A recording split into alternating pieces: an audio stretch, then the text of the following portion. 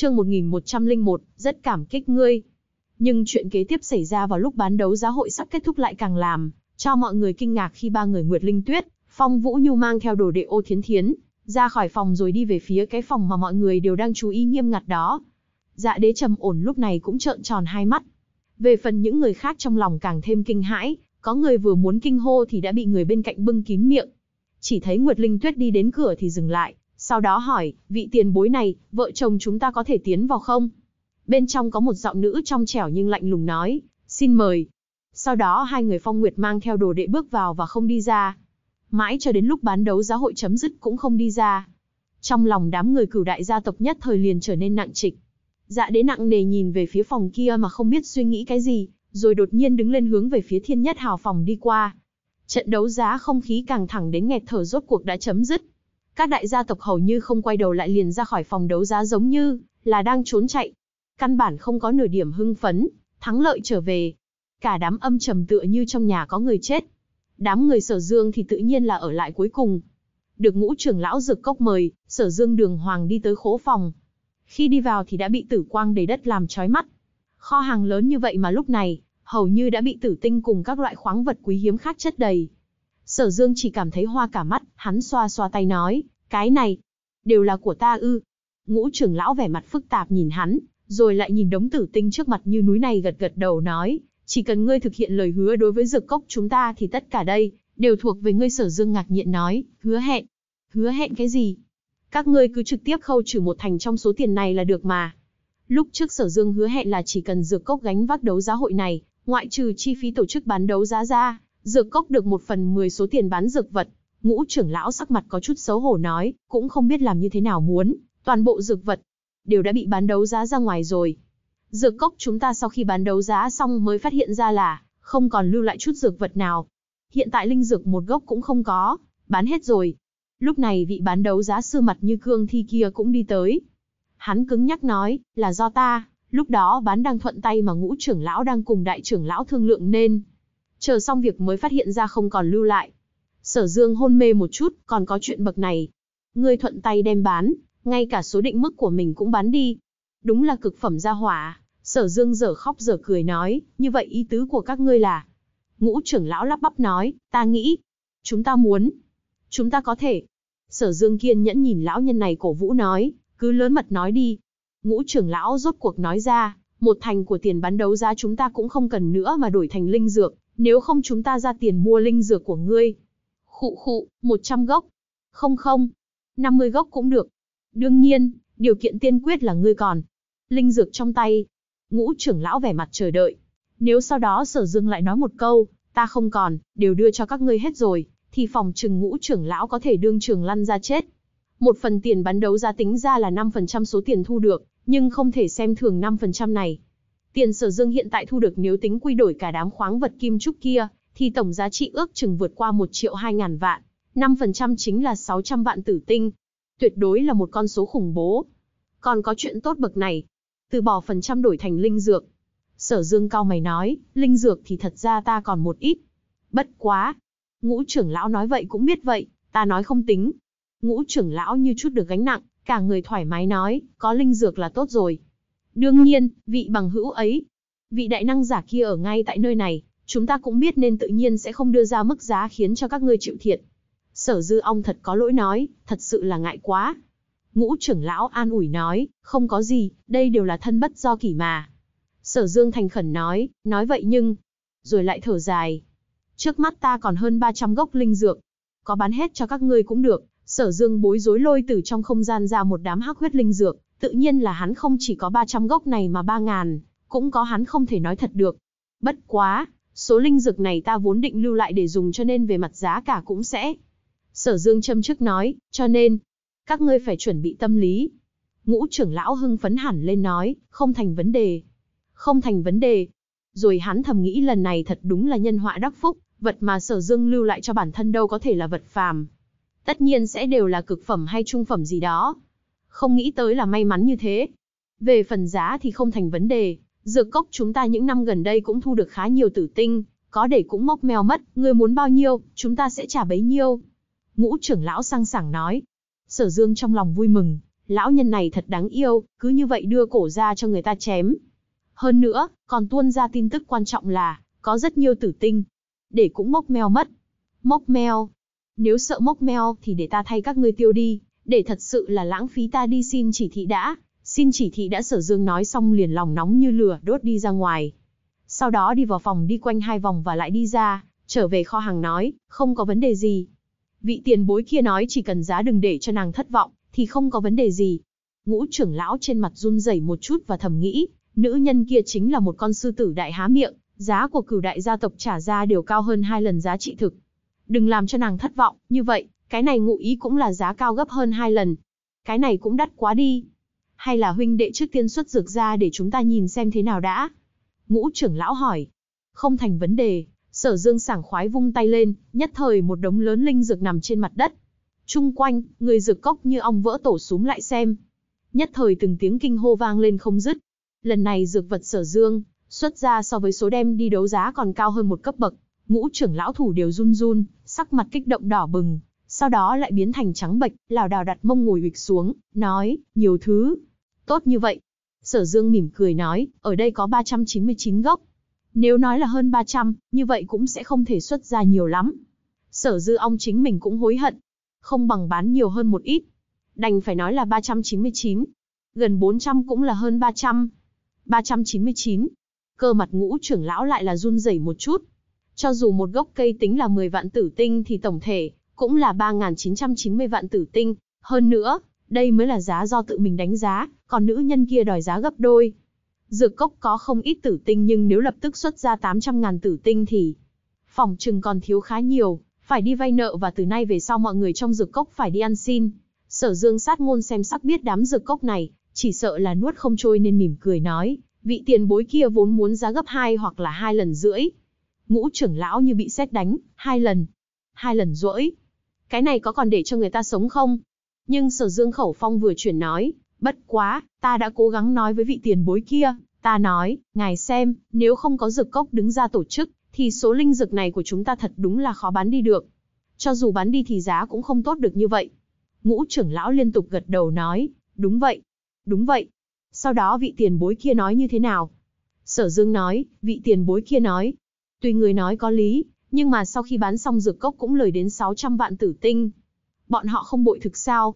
Ngũ trưởng lão thần hồn kinh hãi nói, chỉ là 600 vạn thôi. Ngẫm lại thì điều này nói cũng có lý, cố nhiên bán được giá cao thì hoa hồng của dược cốc cũng là nước lên thì thuyền lên. Cái này tất nhiên là đúng. Ngũ trưởng lão không khỏi thở dài một hơi. Sở Dương nói, lúc ấy ta nói, lời này có chút vong ân phụ nghĩa rồi. Người ta dù sao cũng là giúp chúng ta mà. Này, dù nói như thế nào cũng phải cho họ mặt mũi chứ. Ngũ trưởng lão chớp đôi mắt nhìn sở dương. Sau đó vị tiền bối ấy nói. Một khi đã như vậy, như vậy số linh dược này cứ theo giá thị trường mà bán đi. Bất quá, số lẻ có thể bỏ đi, nói cách khác nàng ấy chỉ cần 400 ngàn vạn tử tinh là được, sau khi khấu trừ 600 vạn tử tinh hoa hồng, thì trên thực tế dược cốc chỉ còn phải trả có 3.400 vạn tử tinh thôi là, có thể đem toàn bộ linh dược cầm đi. Sở dư ông ra vẻ đạo mạo nói. Rõ ràng cũng chỉ là số tiền này nhưng sở dương nói vòng vo vài vòng, lại cứ như là bán cho dược cốc một cái thiên đại nhân tình. Thực vậy à? Thấy có thể tiết kiệm được một nửa, ngũ trưởng lão tâm tình thay đổi rất nhanh nhưng vẫn không thể tin được hỏi lại một tiếng, hạnh phúc như muốn ngất đi. 3.400 vạn tuy rằng con số này vẫn vô cùng khổng lồ, nhưng dược cốc có thể lấy ra được, tuy rằng cũng có chút thương cân động cốt nhưng không dao động đến căn bản. Quan trọng nhất là có số linh dược này, uy tín của dược cốc càng lúc càng lớn. Kiếm tử tinh còn dễ dàng hơn. Đúng thế sở dương khẳng định gật đầu, Thật tốt quá, thật tốt quá. Rất cảm tạ ngươi. Rất cảm tạ ngươi. Cái số tiền này không thành vấn đề, không thành vấn đề. Ngũ trưởng lão hầu như muốn nhảy lên, ánh mắt nhìn sở dương tràn ngập nóng bỏng cùng cảm kích, xem sở dương như cứu tinh. 3.400 vạn. Ta lập tức trả tiền. Ta ta ta. Nhanh đi tìm cốc chủ. Nhanh đi tìm đại cung phụng, lấy. Từ nhẫn chữ vật đem tử tinh đến đây. Ngũ trưởng lão hô to gọi nhỏ nói, mau lên, Hắn sợ chậm chạp sẽ khiến vị đại năng kia thay đổi thì toi. Hắn cảm kích rơi nước mắt cầm tay sở dương dùng sức lay động nói, sở huynh đệ, đại ân đại đức của ngươi. Ta ta, dược cốc chúng ta vĩnh viễn ghi nhớ trong lòng. Lão Phu lúc này đưa ra một lời hứa, đại môn của dược cốc chúng ta luôn rộng mở với ngươi. Ta, rất cảm kích ngươi. Chương 1102, đệ ngũ nhắc nhở. Khi sở dương rời khỏi kho hàng tuyệt đối là thắng lợi trở về. Trong cửu kiếp không gian, kiếm linh mở ra một cái kho riêng chuyên để tử tinh, lúc này đã hoàn toàn đầy, nên kiếm linh không thể không mở thêm một cái đại kho hàng khác, để chuẩn bị chứa tử tinh mới. Trong cửu kiếp không gian, các loại tài nguyên khoáng sản quý hiếm trồng chất như núi. Cửu kiếp kiếm nhào vào mà điên cuồng cắn nuốt nhưng với tốc độ như thế này, theo sở dương phòng trừng chỉ sợ trong vòng 3 đến 5 ngày là không thể cắn nuốt hoàn toàn được. Trong cửu kiếp không gian, linh dược viên lại không thể mở rộng quy mô được nữa. Tuy nhiên linh dược chữa bệnh cho nhạc nhi thì đã có. Sở dư ong rốt cuộc đã gỡ bỏ được tâm sự này. Chuẩn bị hôm nay trở về sẽ chữa thương cho nhạc nhi, khôi phục thân thể nàng, sau đó mau chóng tu luyện. Trong khoảng thời gian này, tử tà tình luôn luôn giúp sở nhạc nhi đặt nền móng, chỉ cần một khi thân thể khôi phục lại là bắt đầu tu luyện. Có được năng lực nghịch thiên của tử tà tình trợ giúp, sở nhạc nhi chỉ sợ tiếp theo có thể tạo ra một cái kỳ tích tu luyện. Sau khi trở lại phòng, mọi người đều đứng dậy đi ra. Phong Vũ Nhu và Nguyệt Linh Tuyết, ô thiến thiến cũng đi theo sau. Bởi vì tử tà tình đã mời bọn họ nên vợ chồng Phong Nguyệt, tự nhiên sẽ không bỏ qua cơ hội như vậy. Về phần ô thiến thiến, thì tự nhiên là muốn ở cùng sở dương càng lâu càng tốt nên chắc chắn đồng ý. Dọc theo đường đi, Mạc khinh Vũ bám vào cánh tay sở dương, một đường đi nói cười không dứt. Ô thiến thiến đi ở mặt sau hâm mộ nhìn Mạc khinh Vũ bám tay sở dương, mà vẻ mặt xuất thần. Hiện tại ô thiến thiến còn chưa biết được tiểu cô nương trước mắt này, chính là yếu tố mấu chốt ngăn cản giữa mình cùng sở dương. Nàng vẫn cho là quan hệ giữa sở dương và Mạc khinh Vũ, là một loại tình cảm huynh muội. Nhưng nào biết rằng hai người này sẽ đời đời kiếp kiếp dây dưa, đâu phải là một loại tình cảm huynh muội. Khi Sở Dương đi ra đến cửa khu bán đấu giá thì đột nhiên ngẩn ra. Ở phía trước có một người đang mỉm cười đứng nhìn Sở Dương. Người này áo xanh phiêu phiêu, ba tròm râu xanh, hai tay chắp sau lưng, tiêu sái thoải mái, vân đạm phong khinh. Người này có một loại trí tuệ như nắm thiên hạ trong lòng bàn tay. Đệ ngũ khinh nhu. Sở Dương trong lòng chấn động. Đệ ngũ khinh nhu khẽ cười cười. Sở Dương bèn buông mạc khinh vũ ra ý bảo mọi người chờ một chút rồi bước qua. Chờ ta hả? Sở Dương mỉm cười hỏi. Chờ ngươi đệ ngũ khinh nhu cười nhẹ nói. Hai người đều ha ha cười cười to. Chúc mừng ngươi đệ ngũ khinh nhu nói, ngươi rốt cuộc đã đạt được một gót chân ở thượng tam thiên rồi. Đa tạ sở dương mỉm cười nói, còn không ổn bằng ngươi đâu. Đệ ngũ khinh nhu lắc đầu cười khổ, ta có một câu thôi. Sở dương lắng nghe. Chớ coi thường kẻ địch đệ ngũ khinh nhu thản nhiên nói, nội tình của kẻ địch so với những gì ngươi thấy còn cường đại hơn nhiều lần. Sở Dương nặng nề gật gật đầu. Mấy ngày hôm trước hợp tác nhưng không thành công đệ ngũ khinh nhu thản nhiên nói, bất quá, tiếp theo chúng ta sẽ hảo hảo tính kế tiếp.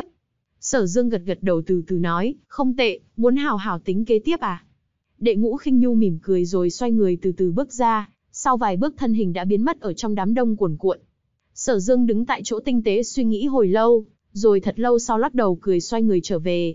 Người nọ, chính là đệ ngũ khinh nhu ư. Tử tà tình nhẹ giọng hỏi.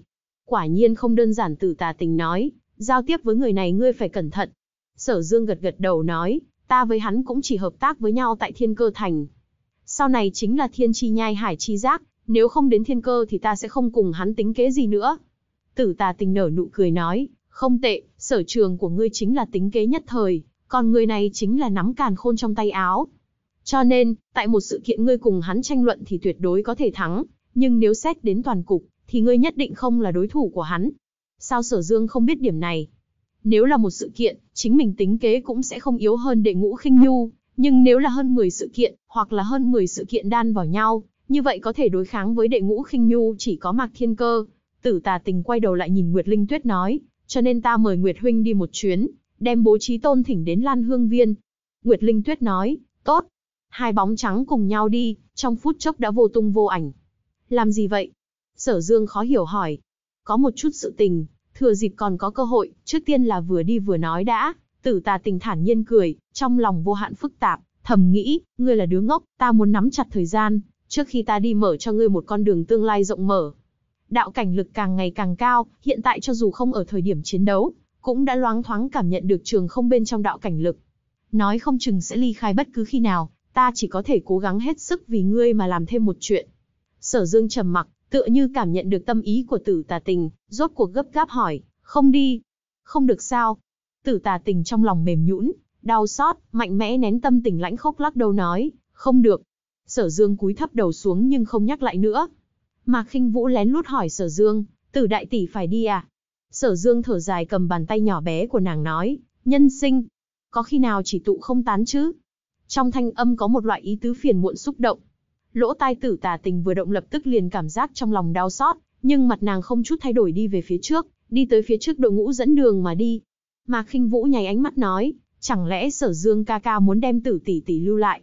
Sở dương cười khổ, đúng vậy, ta cũng rất mâu thuẫn, muốn nàng lưu lại nhưng nếu nàng lưu lại thì chỉ sợ cũng sẽ có nguy hiểm. Nguy hiểm lớn không? Mạc khinh Vũ hỏi. Nguy hiểm rất lớn. Ảnh hưởng đến tính mạng. Sở Dương lại thở dài nói. Sở Dương ca ca có thích nàng không? Mạc khinh Vũ có chút mất mắt hỏi. Sở Dương không phủ nhận, gật gật đầu muốn nói thì nàng lại nói tiếp, nhưng Sở Dương thích khinh Vũ nhất đúng không? Mạc khinh Vũ khoái hoạt nói, ta đây an tâm rồi. Đột nhiên nàng ghé sát vào tay Sở Dương nói, nếu Sở Dương ca ca thực sự không muốn để tử tỷ tỷ đi, muội có một biện pháp. Sở Dương kỳ quái hỏi, biện pháp gì? Mạc khinh Vũ cắn y miệng, do dự một hồi rồi rốt cuộc nhẹ giọng nói, ngươi và tỷ ấy nếu gạo nấu thành cơm, nàng sẽ không đi nữa. Sở Dương lảo đảo một cái, chỉ cảm thấy hai chân như nhũn ra suýt nữa ngã quỵ xuống. Tử tà tình đi ở đầu đội ngũ, cũng lảo đảo một cái rồi lỗ tai lập tức có chút đỏ lên, mà bước nhanh đi lên phía trước. Phong Vũ Nhu đang cùng nàng sóng vai đi tới rất kỳ quái hỏi, tiền bối, ngài làm sao vậy? Tử tà tình phun ra một hơi nói, không có gì, ha ha. Rồi bước nhanh đi tới. Sở Dương gõ vào đầu Mạc khinh Vũ cốt một cái rồi thấp giọng nói, tiểu nha đầu tà ác. Học ở đâu chuyện bắt nháo này vậy? Mạc khinh Vũ hì hì cười, xoa đầu kêu đau nói, sư phụ tìm cho ta một nhân viên massage, chúng ta thường hay nói chuyện phiếm. Nhân viên massage, nam hay nữ? Sở Dương khẩn trương hỏi. Đương nhiên là nữ rồi, Mạc khinh Vũ dùng ánh mắt oan ức nhìn hắn rồi như tiểu hồ ly cười nói, Sở Dương ca ca, ta và người đó thường xuyên nói về ngươi, hừ hừ hừ. Nói tới đây thì đột nhiên mặt đỏ lên. Thì ra lúc trước nàng cùng vị nữ nhân viên massage kia nói chuyện, bởi vì Mạc khinh Vũ mỗi ngày đều nhắc đến Sở Dương, nên vị nữ massage kia có một ngày đã nói một câu, ngươi nha, nếu lo lắng quá thì chờ khi ngươi lớn lên, trước tiên đem hắn gạo nấu thành cơm, muốn bỏ chạy cũng không được. Hiện tại, Mạc khinh Vũ suy nghĩ đến chuyện này lại thầm nghĩ, khi nào thì ta có được tiền vốn như vậy, đem sở dương ca ca nấu thành cơm đây. Đi qua một góc đường, đám người Nam Cung Thệ Phong liền cáo từ sở dương. Lần này sau khi kết thúc đấu giá hội tất nhiên sẽ có động tác, Nam Cung huynh đệ cần bố trí nhân thủ theo dõi, tùy thời phát hiện ra tin tình báo mới nhất. Kiếp này có thể được đi một chuyến này đã hãnh diện lắm rồi. Nam Cung Thệ Phong nói như thế xem ra tâm tình rất tốt, Nam Cung Thệ Phong ta cả đời này e đây là ngày vinh quang nhất. Hôm nay một ngày này, tâm nguyện cả đời ta đã hoàn thành rồi, ha ha. Sở Dương im lặng không nói, thật lâu sau mới thản nhiên nói, về sau, ngươi sẽ càng vinh quang hơn. Thệ Phong, chờ sau khi vạn dược đại điển chấm dứt, ta sẽ giúp ngươi cùng các huynh đệ khôi phục lại thân thể. Nam Cung Thệ Phong hốc mắt nóng lên nắm tay Sở Dương cảm kích lắc lắc, cái gì cũng không nói rồi dẫn theo vài huynh đệ xoay người mà đi. Ta đi theo xem sao vì phòng có vấn đề gì, Ngụy Vô Nhan cũng yên lặng đi theo. Từ đi vào nơi này, Sở Dương luôn luôn vắt óc tìm mưu nghĩ kế muốn làm cho Ngụy Vô Nhan khôi phục lại nhưng cảm xúc của Ngụy Vô Nhan càng ngày càng trầm thấp, càng thêm trầm mặc. Trên người hắn chỉ có một cỗ không khí trầm lặng, bất luận kẻ nào đều nhìn ra được. Đối với cái này, Tử Tà Tình cũng chỉ có thở dài. Ngụy Vô Nhan tâm đã chết. Mục tiêu hiện tại của hắn cũng chỉ còn lại có hai cái. Đó là báo thù và báo ân. Báo chính đại cừu cho vợ con mình, báo ân cứu mạng của Sở Dương. Trừ hai cái đó ra, hắn không còn sở cầu cái gì nữa. Một khi hắn cho rằng hai cái tâm nguyện này đã hoàn thành thì Ngụy Vô Nhan tùy thời đều không chút do dự hoành đao tự xử. Đối với cái này Sở Dương cũng thúc thủ vô sách. Chúng ta cũng đi theo nhìn xem, Vạn Nhân Kiệt cũng nhìn ra được Sở Dương đang lo lắng nên nói. Cũng tốt Sở Dương nói, vạn vạn lần đừng để hắn làm cái gì ngốc nghếch đấy. Vạn Nhân Kiệt ha ha cười, nói, tứ đệ, chúng ta đi xem Ngụy Vô Nhan thế nào, nếu là hắn cần chúng ta muốn. Chúng ta cùng hắn lưu lạc thiên nhai, đi hoàn thành tâm nguyện cuối cùng của hắn. Sau đó, nếu không có việc gì thì sợ là chúng ta sẽ chia tay nhau cùng hắn lưu lạc thiên nhai, cùng hắn đi báo thù rửa hận, để hắn một mình chúng ta cũng không yên tâm.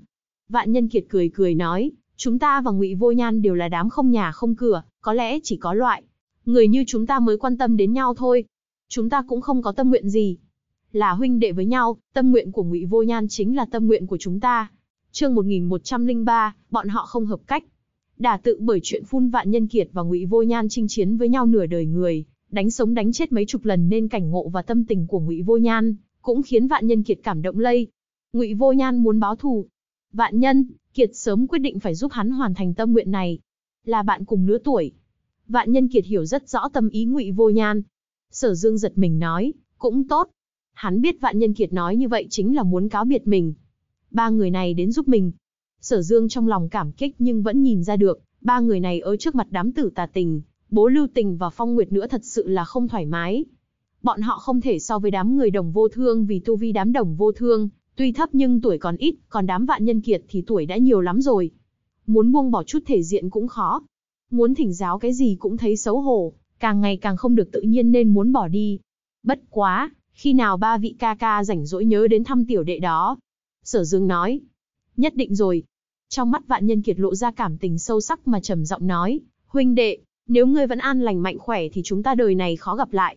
Nhưng nếu ngươi gặp nạn thì các ca ca cho dù phải liều mạng cũng tới với ngươi. Hắn nhìn ra được sự lo lắng trong mắt sở dương, nên vỗ vỗ vai sở dương mỉm cười nói, chúng ta đều là lão cá trạch trong chốn giang hồ, ngươi không cần lo lắng cho chúng ta. Nếu muốn bỏ mệnh, thì cho dù là người như bố trí tôn muốn tìm được chúng ta cũng rất khó. Ha ha, sở dương miễn cưỡng cười cười, lấy từ trong lòng ra bốn khỏa cửu trọng đan đưa qua rồi thấp giọng dặn dò, nếu bị thương ảnh hưởng tính mệnh thì dùng cái này, còn một viên cấp cho ngụy vô nhan. Vạn nhân kiệt nhìn hắn một cái, ánh mắt có chút đỏ lên nhưng lại nhanh chóng quay đầu đi chỗ khác cười nói, một khi đã như vậy, lão ca thu lấy đã. Rồi vươn cánh tay dùng lực vỗ lưng sở dương nói, lão tử, bảo trọng. Sau đó thành độc ảnh tiến lại cười nói, tử đệ rồi quay đầu bước đi, hắn cũng muốn nói cái gì đó nhưng lời sắp lên đến miệng thì trong lòng xúc động, mà lại nói không nên lời quay đầu mà đi.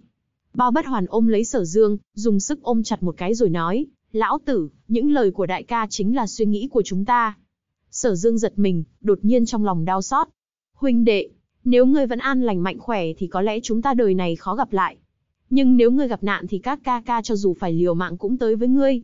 Ba người lại cố ý sắp sở nhạc nhi để cáo biệt, vạn nhân kiệt vỗ về mái tóc sở nhạc nhi thật lâu sau cũng không nói gì, sau đó lại muốn nói cái gì nhưng nhịn xuống, sau mấy lần cuối cùng rốt cuộc thở dài một tiếng nhẹ giọng nói, nhạc nhi, nhất định phải sống vui vẻ đó. Hai mắt sở nhạc nhi đỏ lên, nước mắt tuôn rơi. Vạn nhân kiệt từ ái nhìn nàng, lau nước mắt cho nàng rồi cười nhưng thanh âm lại hơn run run. Hắn muốn nói, nếu ta có cháu giống ngươi còn muốn nói, nhạc nhi đã cho cho ta nếm thử thân tình, cũng nhớ lại những ký ức tốt đẹp. Thực sự cảm kích ngươi, nhưng chung quy cái gì cũng không nói được. Các vị, hôm nay phải chia tay, sau này núi cao sông dài, giang hồ hữu duyên thì tất gặp lại. Ba huynh đệ tại hạ xin cáo từ. Vạn nhân kiệt cúi đầu về hướng mọi người và ôm quyền rồi quay đầu bước đi. Thân ảnh ba người càng lúc càng xa và Thủy Trung không có quay đầu. Lại lần nào, sở dương buồn bã nhìn ba người rời đi, sau khi khuất bóng sau một cái ngã tư đường thì không còn thấy nữa. Hắn đột nhiên cảm giác thấy trong nhân sinh của mình, vừa xuất hiện một cái làn danh phân cách mới đem mình và Thượng Tam Thiên cắt đứt. Nhân sinh luôn luôn chia lìa. Tử tà tình thấy hắn có vẻ mất mát thì nói, thật ra, bọn họ rời đi chính là chuyện tốt. Ba người này tu vi cũng không phải là cao. Hơn nữa, kinh mạch đã gần như sơ hóa, muốn tăng lên cũng không thể. Nếu bọn họ đi theo ngươi, thì sớm hay muộn có một ngày sẽ bị ngươi liên lụy mà toi mạng. Nay đi rồi, ngươi nên vì bọn họ mà cao hứng mới đúng. Sở Dương chấn động rồi lập tức cười khổ một tiếng nói, về điểm này ta cũng nghĩ đến rồi nhưng, tình cảm trong lòng cũng không dễ đứt như vậy. Bọn họ trong mắt người đời cũng không phải là người tốt, nhưng đối với ta và Nhạc Nhi thì rất tốt. Tử tà tình cười nhẹ nói, người tốt và người xấu. Cái này đâu có thể phân ra như vậy chứ. Phân ra. Sở Dương nói, ở trong lòng ta, Hàn Tiêu Nhiên là chấp pháp giả như vậy, chính là người tốt. Còn có một số hán tử tính tình ngay thẳng nhưng nếu là địch thì vẫn phải giết, cho dù đó là người tốt. Đương nhiên, người tốt đối với chúng ta thì càng tốt. Lúc ta mới phát hiện ngươi cũng rất thẳng thắn thật thà. Tử tà tình nhịn không được nở nụ cười nói. Sở Dương nói rất thẳng thắn. Mỗi người có tiêu chí đánh giá người tốt người xấu khác nhau, một người có thể tốt đối với người này nhưng lại xấu đối với người khác vậy. Mọi người về tới Lan Hương Viên, Sở Nhạc Nhi nhu thuận đi pha trà, mà Khinh Vũ cũng chạy tới hỗ trợ. Hai tiểu nha đầu này vừa cãi nhau vừa bận rộn chúi đầu thầm thì, mọi người nhìn thấy thì đều ngầm hiểu và cười. Sở Nhạc Nhi cùng Mạc Khinh Vũ, một bưng ấm trà, một cầm chén trà, một trước một sau đi ra. Nhất thời trong đại sảnh hương trà tỏa khắp bốn phía. Không bao lâu, bố Lưu Tình và Nguyệt Linh Tuyết cũng dắt tay nhau mà đến. Mọi người ngồi quanh một cái bàn tròn lớn. Theo thứ tự là Tử Tà Tình, bố Lưu Tình, Nguyệt Linh Tuyết, Phòng Vũ Nhu, Ô Thiến Thiến, Sở Dương, Mạc Khinh Vũ, Đồng Vô Thương, Nhuế Bất Thông, Mặc Lệ Nhi, Sở Nhạc Nhi. Vừa đúng 11 người. Trước mặt mỗi người đều có một ly trà, hương trà nóng hôi hổi bốc lên, tất cả đều không nói gì, đều đang chờ đợi. Mọi người cũng không biết lúc này tử tà tình triệu tập mọi người đến để làm cái gì. Chỉ có bố lưu tình là, trong lòng mơ hồ có một loại cảm giác nên vẻ mặt có chút nóng lòng. Hôm nay ta triệu tập mọi người đến chính vì muốn trả lời bố trí tôn một câu. Tử tà tình thản nhiên cười cười, ánh mắt nhìn lên mặt hai người phong nguyệt rồi vung tay lên, mọi người liền nhất thời cảm giác được một cỗ bình chướng vô hình đã đem toàn bộ lan, hương viên này ngăn cách với thiên địa bên ngoài. Trong lúc bình chướng này tồn tại, toàn bộ cửu trùng thiên, không ai có thể thấy, không ai có thể nghe lén được toàn bộ động tĩnh trong này. Cho dù chỉ là một chút động tĩnh, bao gồm cả vài vị đỉnh phong cường giả ở cửu trùng thiên cũng tuyệt đối không nghe được. Bố Lưu Tình, Phòng Vũ Nhu, Nguyệt Linh Tuyết đồng thời lộ ra vẻ khâm phục. Với một chỉ nhẹ nhàng bâng quơ này bọn họ tuyệt đối làm không được. Tử tà tình thản nhiên nói tiếp, hôm nay sau khi đấu giá hội kết thúc, bố trí tôn có hỏi ta phía trên cửu trùng thiên là cái gì? Tử tà tình vừa nói những lời này ra, phòng Vũ Nhu và Duyệt Linh Tuyết nhất thời ngồi thẳng, đứng lên. Nhưng người khác cũng bỗng nhiên ngẩng đầu nhìn về phía tử tà tình phía, trên cửu trùng thiên là cái gì? Đây vẫn là một câu đố đối với cửu trùng thiên đại lục. Trong hơn 10 vạn năm qua, cũng chỉ có hai vị trí tôn trong truyền thuyết là Thần Phong và Lưu Vân là, có thể siêu thoát khỏi thế giới này, đi ra một cái thế giới lớn hơn nữa, nhưng cái này dù sao cũng chỉ là truyền thuyết. Hơn nữa, Thần Phong cùng Lưu Vân sau này cũng không thấy trở về cho nên, liệu có thế giới khác nữa hay không thì đến tột cùng không ai có chứng cớ cả. Đối với chuyện này thật ra trong lòng mọi người đều không nắm chắc. Tuy nhiên hôm nay rốt cuộc đã được nghe tử tà tình nói về chuyện này. Tất cả mọi người đều nín thở chỉ sợ bỏ sót câu nào. Bố lưu tình lúc này, thậm chí ngay cả việc Mạc khinh Vũ đang bị sở dương ôm vào trong lòng cũng không quản nữa, mà dựng thẳng lỗ tai hết sức chăm chú nghe, bởi vì hắn có thể cảm giác được sự tồn tại của cái thế giới kia. Chỉ kém non nửa bước nửa là mình có thể đi qua. Cho nên, chuyện mà tử tà tình sắp sửa nói đối với hắn và Ninh Thiên Nhai, là cực kỳ trọng yếu. Sở dương ôm eo mà khinh vũ ánh mắt sáng ngời nhìn tử tà tình. Chỉ có hắn mới biết, chuyện tử tà tình sắp nói chính là muốn nói với hắn. Về phương diện này, có toàn bộ tâm nguyện cùng hy vọng của tử tà tình. Thế nhân đều biết đến cửu trùng thiên. Cửu trùng thiên đại lục chính là tên của phiến đại lục này. Tử tà tình thực thong thả nói, cho nên một mảng đại lục này đã thành cửu trùng thiên trong mắt mọi người. Nhưng nơi này có thực sự là cửu trùng thiên không? Nếu là như vậy thì vì sao chỉ có thượng trung hạ, tam trọng thiên mà thôi? Nàng lạnh nhạt nói, có lẽ có người sẽ giải thích rằng, 10 vạn năm trước, vị đại năng kia đã làm cho cửu trùng thiên sụp đổ, gấp thép lại chỉ còn lại có tam trọng thiên, bất quá, bố huynh có khả năng biết rồi, người có trình độ đến bực này sao có thể xuất hiện sai lầm cấp thấp như vậy chứ? Bố lưu tình than dài một tiếng rồi gật gật đầu nói, không sai, bình thường khi đã đến trình độ của chúng ta thì nếu việc không có 10 phần nắm chắc, thì tuyệt đối sẽ không làm. Nhưng, người nọ nếu có được năng lực có thể gấp thép cửu trùng thiên lại, mà lại xuất hiện sai lầm trọng đại như vậy, cái này, đối với tồn tại cấp bậc chúng ta từ xa xưa tới nay đều rất khó xảy ra. Tử tà tình nói, cho nên, người nọ vì gấp thép cửu trùng thiên sai lầm, hơn nữa lại gấp thành ba tầng, nên phải để lại một cây cửu kiếp kiếm để duy trì sự ổn định của đại lục này. Tất cả cái này cũng không hợp tình hợp lý lắm. Tử tà tình chậm rãi nói. Mấy vấn đề này hẳn là tử tà tình, cố ý đưa ra để thử hắn cho nên hắn nói chậm rãi, nhưng rất rõ ràng. Cái này thật ra cũng không hoàn toàn sai khác cho lắm, nhưng lý do không phải là do vị đại năng kia năng lực hữu hạn, cũng không phải xuất hiện sai lầm mà là có mục đích khác. Mục đích này rất sâu xa. Lúc tử tà tình, nói chuyện khẩu khí rất nặng và cũng không nhìn sở dương nhưng sở dương lại biết. Tử tà tình đây là đang nhắc nhớ chính mình, đây là một chuyện rất trọng đại. Cái này hoặc là một cái âm mưu, cũng hoặc là một loại chờ đợi. Còn cóc hính là một cái. Tử tà tình thản nhiên nói, cửu kiếp kiếm chủ từ lịch đại tới nay các đời cửu kiếp kiếm chủ đều tiêu thất, tiêu thất đi cũng không phải họ đi tới trung điểm mà là, bọn họ không hợp cách cho nên bị đào thải. Tử tà tình nhấn mạnh một câu làm cho mọi người, đồng thời kinh hãi. Chương 1104, chân chính cửu trùng thiên khuyết. Đà tự bởi chuyện phun bọn họ không hợp cách nên bị đào thải. Mọi người hoảng sợ kinh hãi. Bọn họ mà tử tà tình, nói ra là bị đào thải này chính là tám vị cửu kiếp kiếm chủ trước đây, và cũng là chúa tể vận mệnh của cửu trùng thiên trong truyền thuyết. Bọn họ không hợp cách thì ai đủ tư cách đây? Bọn họ không hợp cách, cái này có ý tứ chính là, luôn luôn có một vị cửu kiếp kiếm chủ đủ tư cách nhưng người này còn chưa xuất hiện. Có lẽ là cửu kiếp kiếm chủ thứ 9 mà cũng có lẽ là thứ 10. Tử tà tình chậm rãi nói, khi ta đi vào đại lục này cũng được mấy vạn năm rồi. Năm đó vì việc này mà cũng có chút tò mò, sau khi cửu kiếp kiếm chủ chỉnh đốn cửu trùng thiên xong ta, vẫn âm thầm đi theo cửu kiếp kiếm chủ kia, sau đó phải đi chỗ bổ thiên. Nói tới đây, vẻ mặt mọi người đồng thời nghiêm túc lên. Lời tử tà tình sắp nói ra chính là bí mật đệ nhất của cửu trùng thiên. Trong thời gian ta đi theo vị cửu kiếp kiếm chủ kia nhìn thấy hắn tựa, như bị cái gì đó quấy nhiễu tra tấn, quả thực là sống không bằng chết, Ngày nào cũng say, ngày nào cũng uống, mỗi ngày là một ngày thống khổ, từng có mấy lần hắn vung kiếm muốn tự vẫn nhưng cuối cùng vẫn không có chết. Tử tà tình trầm trọng nói, ta nhìn ra được hắn không muốn làm như vậy, hắn thực sự mâu thuẫn, hắn cũng có lương chi thậm chí hắn muốn chết đi, muốn dùng cái chết của chính mình để chấm dứt tất cả, nhưng đáng tiếc là ngay cả chết cũng bất thành. Hắn cứ như vậy mà bị tra tấn suốt 2 năm. Bố lưu tình hướng về sở dương nhìn thoáng qua với ánh mắt phức tạp. Trong đoạn thời gian này, vị cửu kiếp kiếm chủ kia vạn lần nguyền rủa một người. Tử tà tình thản nhiên nói. Nguyền rủa ai? Bố lưu tình hỏi. Người hắn nguyền rủa đó là kẻ sáng tạo ra cửu kiếp kiếm.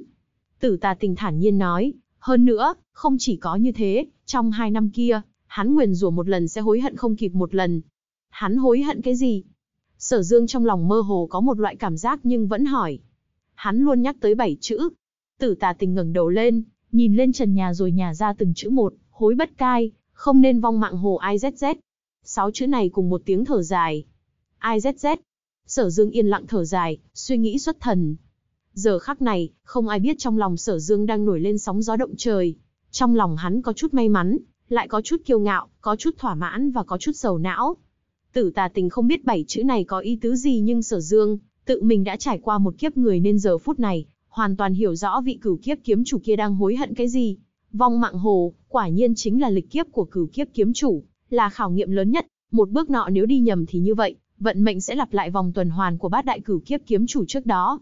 Lâm vào một cái vòng lẩn quẩn vạn kiếp bất phục, như vậy vị cửu kiếp kiếm chủ kia tại thời điểm đưa ra lựa chọn đã hoàn toàn khác, với mình cho nên, ảo cảnh cực kỳ chân thật. Hoặc là nói, khi đó ảo cảnh từ tâm mà đến mà tâm lại là kết quả cuối cùng. May mắn là mình đã chống đỡ được một hồi khảo nghiệm lớn nhất này, xem ra trong tương lai con đường của mình, hoàn toàn khác tám vị cửu kiếp kiếm chủ trước đây. Tuy nhiên cho dù sầu não nhưng thân là cửu kiếp anh hùng hảo hán, bọn họ đều đáng yêu, đều là những hảo hán tử dũng cảm quang minh. Tử tà tình tạm dừng một chút, sở dương biết nàng có ý. Để cho mình tự suy nghĩ một chút, Rốt cuộc, tử tà tình tiếp tục nói, vị cửu kiếp kiếm chủ này dối rắm mất 2 năm. Cuối cùng đã đưa ra lựa chọn, đó là đem huynh đệ của mình đưa vào bổ thiên động. Sở dương thở dài một tiếng. Đám bố lưu tình cũng thở dài một tiếng. Loại tình cảm này làm người cũng cảm động. Đây là được cửu trùng thiên công nhận nhưng hán tử tốt như vậy, lại có thể bị hy sinh như vậy. Thật thật là thiên lý ở đâu? Tử tà tình thản nhiên nói, nhưng tại thời điểm kia, ta cảm giác được hồn phách huynh đệ hắn đang tiêu tán nhưng mà không phải trôi đi, mà tựa như bị xé ra, chậm rãi phân lưu, đi đến một nơi khác không hiểu được. Mà cái địa phương kia lại không phải là thiên ngoại thiên. Nói tới đây, mọi người đồng thời chấn kinh một chút. Nói như vậy, thật ra các cửu kiếp nhân đều không có chết. Sở Dương hỏi. Không, đúng là đã chết nhưng lại lấy một phương thức khác để sinh tồn. Tử tà tình nhìn sở Dương liếc mắt một cái nói, cái địa phương kia theo ta thì hẳn là U Minh Giới. U Minh Giới. Sở Dương thở dài, Vận mệnh của cửu kiếp kiếm là thống nhất thượng tam thiên sau đó, liền đoạn lạc nhưng nơi này cũng có một đường ranh giới thật lớn. Đây chính là điểm mấu chốt. Cửu kiếp tiêu thất ở thế giới này nhưng tại thế giới kia lại sẽ tồn tại. Nhưng cửu kiếp kiếm chủ cũng thực sự là tiêu thất đi. Tử tà tình thản nhiên nói, trôi đi. Ta hiểu được. Sở dương hít một hơi thật dài nói. Ý của tử tà tình là, cửu kiếp cũng không có chân chính hoàn toàn biến mất, nhưng cửu kiếp kiếm chủ lại sẽ hoàn toàn biến mất. Cái này so với dự đoán của Sở Dương thì hoàn toàn phù hợp. Một kẻ hoàn toàn vô tình vô nghĩa sao lại có nhân quả tốt được chứ? Cái này mặc dù có chút duy tâm nhưng Sở Dương vẫn kiên trì cho rằng như vậy, cái này cùng thiên đạo không hợp. Hành vi của con người có lẽ có nhiều cách biện luận, nhưng trong lòng người lại phân ra chính tà. Tử tà tình nói tiếp, cho nên ta phỏng chừng, các đời cửu kiếp kiếm chủ cho tới nay đều không có thành công, nhưng việc không thành công này lại có thể khiến cho đại năng gấp cửu trùng thiên lại này đạt, tới một loại trình độ khác, đây có thể là một cái mục đích khác. Mọi người yên lặng gật đầu. Cho nên ta phỏng đoán việc cửu, kiếp kiếm làm chết đi tuyệt đối không phải là ý của đại năng này. Bởi vì cửu kiếp kiếm chủ hoàn toàn tan đi, cái này rất không hợp lý. Tử tà tình nói. Nhưng ngươi làm sao biết hắn hoàn toàn trôi đi mà không phải giống như cửu kiếp kiếm? Sở Dương hỏi. Bố lưu tình nở nụ cười nói, chắc là tử tiền bối dùng thần niệm bám vào. Tử tà tình nở nụ cười, không sai, ta sử dụng hơn 10 cỗ thần niệm bám vào và theo những người kia biến mất. Vạn năm sau, chín cỗ thần niệm đã trở lại còn một cỗ bị tiêu diệt. Chi vì một chút thần niệm bị tiêu diệt, mà ta bị tổn thất khá lớn nên phải ở lại trong hắc huyết tùng lâm tu luyện. Mãi đến hai vạn năm trước mới khôi phục lại được. Bội phục. Bố lưu tình thở dài một tiếng. Chỉ có loại đỉnh phong cường giả như hắn mới biết được lời nói nhẹ nhàng bâng quơ này, của tử tà tình lại ẩn chứa biết bao gian nguy, bao nhiêu điều khó có thể tin. Chuyện được copy tại thần niệm tiêu tán cùng, với thần niệm bị tiêu diệt tuyệt đối là hai khái niệm khác nhau. Tiêu diệt chính là tử vong, mà thần niệm tử vong, nhẹ thì chết, nặng thì tàn tật mất trí. Về điểm này, cho dù là bản thân bố lưu tình nếu một cỗ thần niệm bị tiêu diệt, thì chỉ sợ cũng không thể. Tránh được hai loại kết quả này nhưng tử tà tình, lại có thể ngạnh sinh sinh tu luyện khôi phục lại. Ngươi không nên bội phục ta, mà là do lực lượng kia hẳn là, không thể đem thần niệm của ta hoàn toàn tiêu diệt đi. Tử tà tình cười nói. Bố lưu tình mỉm cười. Đại tỷ, nhưng tỷ lúc đầu muốn nói về bên ngoài cửu trùng thiên mà. Sở nhạc nhi nhắc nhở nói, nhưng hiện tại tỷ lại nói về cửu kiếp kiếm chủ. Ta đúng là đang nói về chuyện của thiên ngoại thiên mà. Tử tà tình mỉm cười, đem sở nhạc nhi kéo vào lòng nói, ta sở dĩ nhắc tới cửu kiếp kiếm chủ vì ta cho rằng, thật ra sứ mệnh chân chính của cửu kiếp kiếm chủ là lao ra khỏi cửu trùng thiên. Đi vào cái địa phương rất cao cấp, đi hoàn thành một việc, hoặc là, đi hoàn thành nhiệm vụ cuối cùng do vị đại năng kia giao phó, chứ không phải ở tại thượng tam thiên này, đem bản thân và các huynh đệ chôn vùi đi. Nơi này, ta nói đến thiên ngoại thiên. Tử tà tình thản nhiên nói, cũng chính là cửu trùng thiên khuyết chân chính. Cửu trùng thiên khuyết chân chính, mọi người trong lòng đều cảm giác được kịch liệt chấn động. Sở dương cúi đầu đem chán tựa vào đầu mạc khinh vũ, cảm thụ hơi ấm trên người tiểu nha đầu này mà trong lòng lặng lẽ suy tư. Ở ngoài cửu trùng thiên có vô số thế giới, vô số đại lục. Đám đại lục đó, mỗi một cái so với cửu trùng thiên đại lục thì đại đồng mà tiểu dị. Nhưng, ở phía trên cửu trùng thiên, cũng là nơi có cộng đồng tiểu thế giới đó, phía trên nhất không ai biết ở đâu. Nơi đó có một đạo thiên nhân cảm ứng nghiêm mật.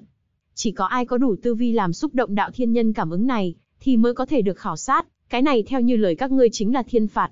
Tử tà tình thản nhiên cười nói, thiên phạt, thật ra là một loại khảo nghiệm. Ngươi chống đỡ được thiên phạt liền coi, là đủ tư cách tiến vào phiến thiên địa thần bí kia. Phiến thiên địa kia, tiền bối đã đi vào chưa? Bố lưu tình vội vàng hỏi. Đi vào rồi. Tử tà tình thản nhiên gật đầu nói, bất quá, ta ở bên trong đó chỉ một thời gian ngắn rồi liền đi ra. Ước chừng không đến một ngàn năm. Nơi đó như thế nào? Bố lưu tình hỏi. Nơi đó tử tà tình thản nhiên cười cười nói, rộng lớn khôn cùng, linh khí sung túc, cao thủ nhiều như mây. Bố huynh, sau này ngươi đến đó sẽ biết. Lấy tu vi tiền bối, ở trong đó như, thế nào? Bố lưu tình vẫn chưa từ bỏ ý định hỏi. Có thể nói là trung đẳng, thậm chí chỉ là trung hạ mà thôi. Tử tà tình hàm xúc nói, đương nhiên, tình huống cụ thể thì ta cũng không rõ lắm vì ta đến đó là đi tìm người. Khi tìm không thấy thì liền sớm lui ra, cực đạo cao thủ nơi đó ta cũng chưa có tiếp xúc qua. Thậm chí, người tại cửu trùng thiên khuyết cũng chưa tiếp xúc qua. Trung hạ, bố lưu tình hít sâu một hơi, trong mắt phát ra tinh quang lóa mắt. Sứ giả chủ quản cửu trùng thiên đại lục chính là người bên trong cửu trùng thiên khuyết. Tử tà tình mỉm cười thâm y nói, bố huynh, nơi đó so với nơi này thì càng thêm hung hiểm nhưng, kỳ ngộ cũng nhiều, nơi đó mới là nơi để cực đạo cường giả chân chính trưởng thành. Ánh mắt bố lưu tình sáng lên, Nguyệt Linh Tuyết và Phong Vũ Nhu nhìn nhau, cả hai nhìn nhau mà trong mắt đều thông suốt. Cửu trùng thiên khuyết chân chính trong lòng sở dương, yên lặng lặp lại một câu rồi dựa vào mái tóc mềm mại của Mạc Khinh Vũ thầm nghĩ, nhân sinh một đời bất quá như cỏ cây qua mùa thu. Đã có địa phương bực này, thì chỉ cần có cơ hội ta nhất định phải mang theo các huynh đệ đến đó tung hoành, để ta và khinh vũ ở cửu trùng thiên khuyết chân chính khởi vũ. Nhất vũ động cửu thiên. Chương 1105, Phó Thác. Đả tự bởi chuyện phun thân hình hùng tráng của đồng vô thương ngồi ngay ngắn như núi, sắc mặt trầm ngưng nhưng đuôi lông mày lại nhướng lên. Còn có loại địa phương này sao? Ta nhất định phải đi nhìn xem thế nào. Nhất định. Bạn đang đọc truyện tại Nhuế Bất Thông ngẩng đầu lên nhưng trong lòng lại suy nghĩ, nếu các huynh đệ đều có thể đi thì ta cũng đi xem còn nếu các huynh đệ không đi thì ta cũng không đi. Dù cho có địa phương đó mà chỉ có một mình ta, thì còn có ý nghĩa gì nữa chứ? Tử tà tình lặng lặng nhìn biến hóa trên sắc mặt mọi người rồi chậm rãi nói, hôm nay ta sở dĩ triệu tập mọi người để nói cái này chính là bởi vì, mọi người ở đây hôm nay đều có tiềm lực đi tới đó. Bao gồm cả hai tiểu nha đầu này, khinh vũ và nhạc nhi. Nói tới đây, tử tà tình rốt cuộc quay đầu lại nhìn sở dương. Trong mắt thần sắc cực kỳ phức tạp. Nghe tử tà tình nói những lời này, bố lưu tình và phong nguyệt hai người cũng có chút kinh ngạc. Noi này có 11 người, trừ bỏ tử tà tình ra còn có 10 người.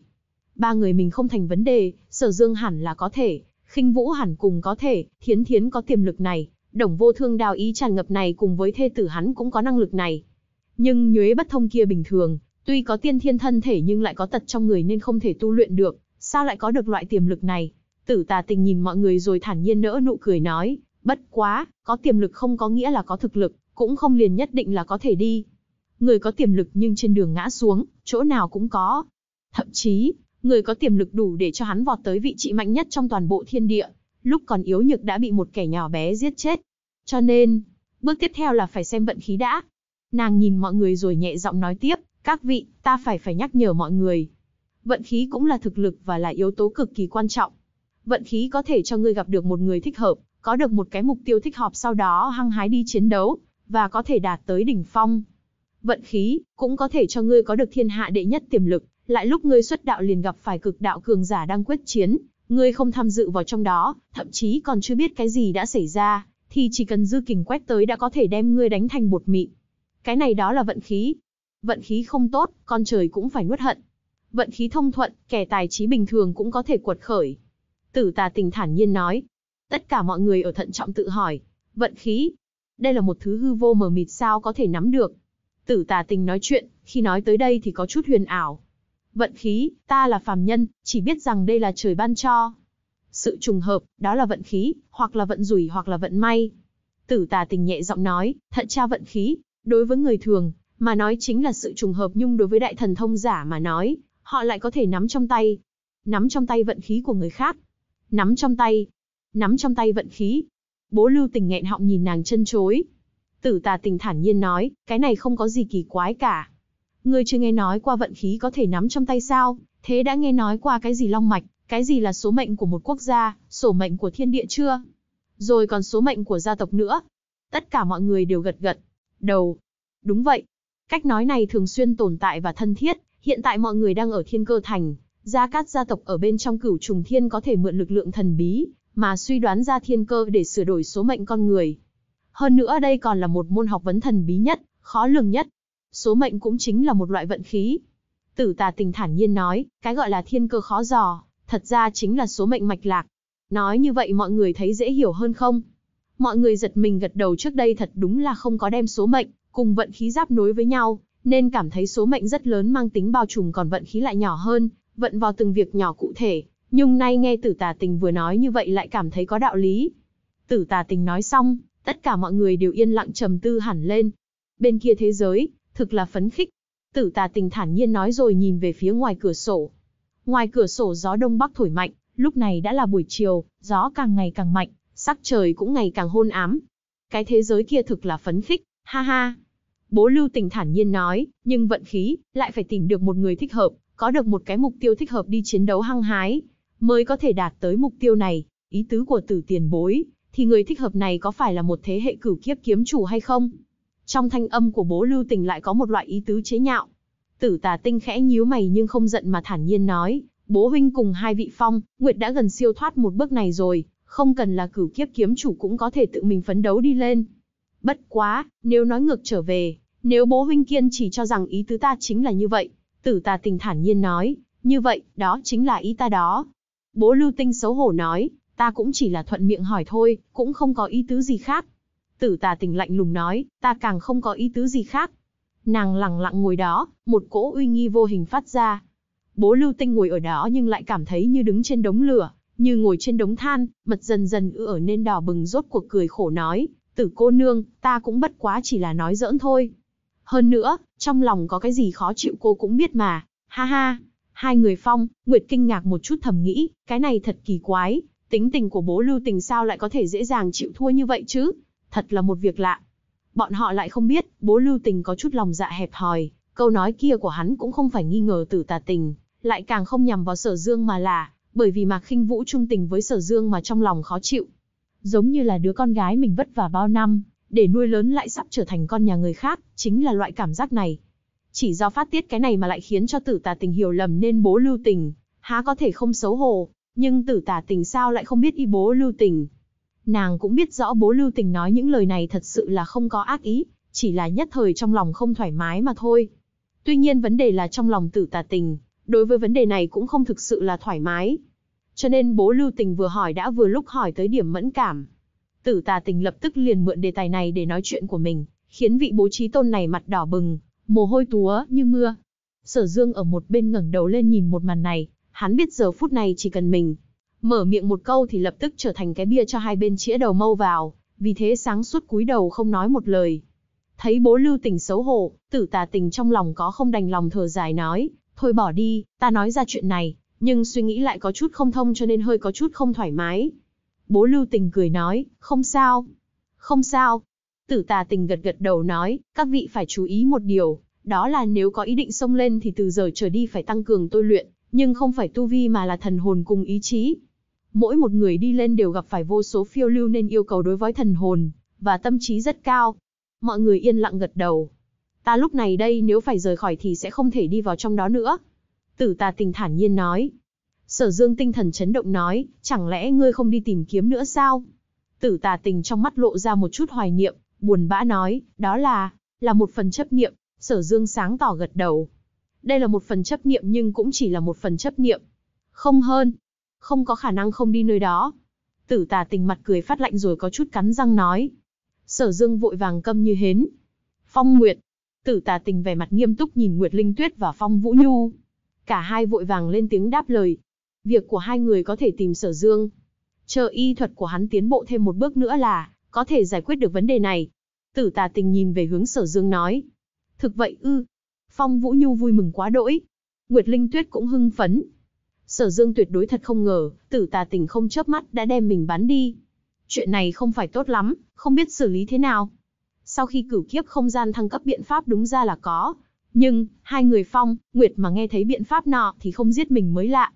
Tử đại tỷ, cái này sở dương vẻ mặt đau khổ không sợ chết lên tiếng kháng nghị. Câm miệng. Tử tà tình lạnh lùng nói, chuyện này ngươi phải làm. Hiện tại làm không được thì chờ sau khi y thuật tiến bộ mà không làm được sao? Sao lại thiếu tự tin như vậy?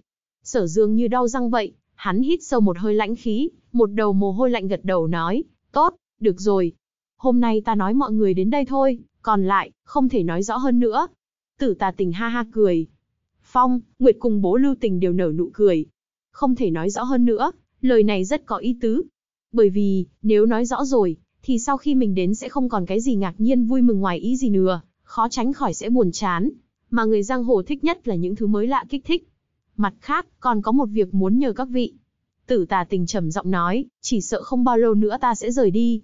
Đến lúc đó, mấy người sở dương cần phải nhờ ba vị quan tâm một chút. Hai người Phong, Nguyệt và bố Lưu Tình đáp ứng nói, đây là chuyện đương nhiên mà.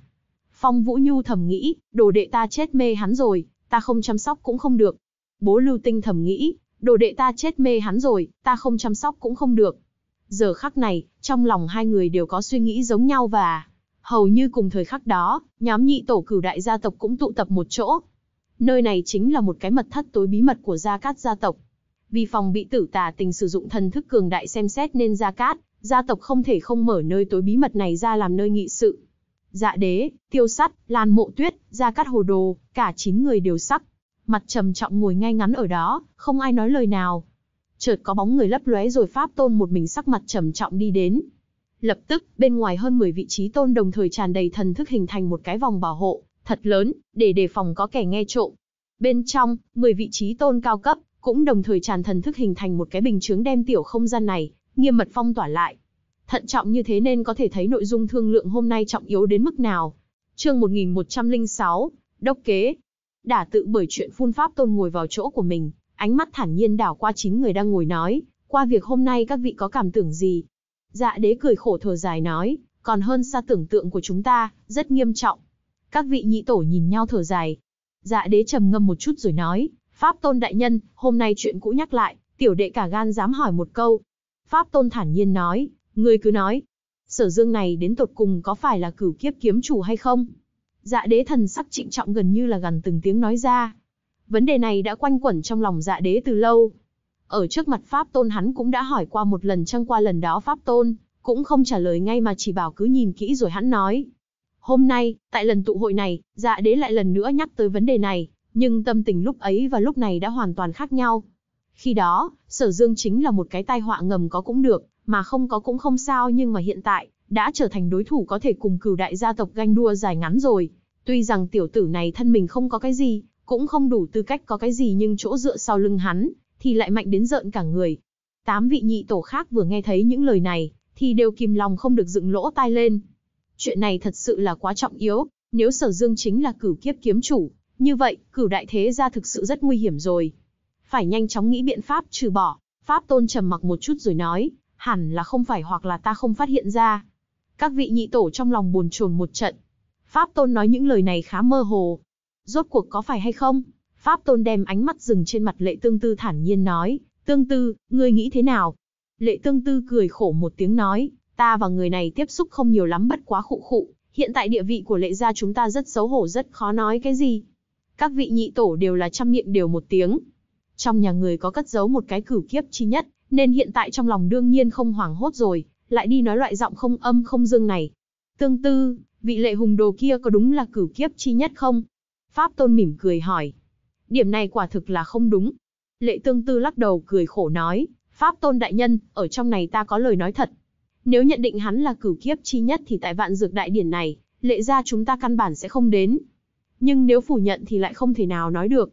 Việc này trước mắt đúng loạn thành đoàn mà. Thạch gia thạch kinh tức giận nói, ngươi thật hồ đồ. Ta xem ngươi đang ngồi đây nhưng đầu óc để đâu đâu.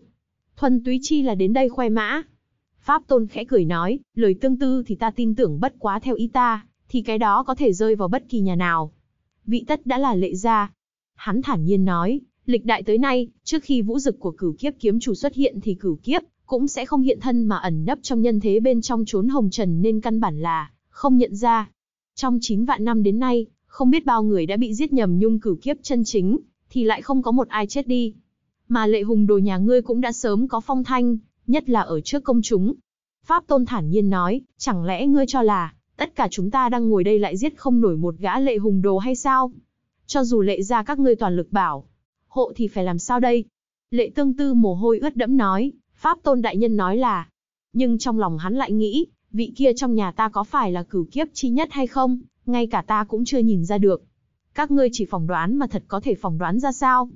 Pháp Tôn ngưng thần nhìn hắn một hồi rồi rốt cuộc nói, tương tư, ngươi đi ra ngoài trước đi. Lần này thương nghị, lệ ra các ngươi sẽ không được tham gia nữa. Lệ tương tư ngạc nhiên nhìn Pháp Tôn. Tám vị nhị tổ cùng hung tợn nhìn về phía hắn. Pháp Tôn nói một câu này, giống như là nói Pháp Tôn căn bản không tin lời lệ tương tư rồi. Nói cách khác, lệ tương tư tuy rằng đang ngồi đây nhưng thật ra bị coi là nội gian. Pháp Tôn đại nhân, cứ như vậy để cho hắn dễ dàng rời đi sao? Tiêu sắt trên mặt đầy sát khi nói, không bằng giữ hắn ở đây. Vạn nhất hắn đi ra ngoài tiết lộ bí mật của chúng ta thì phải làm sao? Không sai, Pháp Tôn đại nhân. Lệ gia lúc này đã muốn bỏ qua cho cửu kiếp kiếm chủ, sớm hay muộn sẽ là cái họa lớn. Lúc này nên đem lệ tương tư xử lý đi, cũng vì ngày sau mà trừ bỏ một cái họa lớn tâm phúc. Lan mộ tuyết cắn răng nói. Các vị nhị tổ đều hưởng ứng. Mật lệ tương tư vàng như đất. Nếu thực động thủ, thì chỉ sợ bản thân hắn tuyệt đối không có cơ hội chạy ư ốn, mà chỉ có một con đường chết. Cả đám ồn ào. Pháp Tôn nhìn lệ tương tư trầm ngâm hồi lâu rồi nói, tương tư, ngươi đi đi. Nhớ kỹ lời ta hôm nay. Một ngày nào đó ngươi sẽ phát hiện ra. Có một số việc luôn ra ngoài dự đoán của chúng ta. Có rất nhiều việc cũng đôi khi có chút hiểu lầm, mà có một số việc cũng sẽ phải hối hận. Hắn thản nhiên khoát tay áo nói, ngươi đi đi. Ta cho ngươi một cái cơ hội hối hận trong tương lai. Pháp Tôn đại nhân.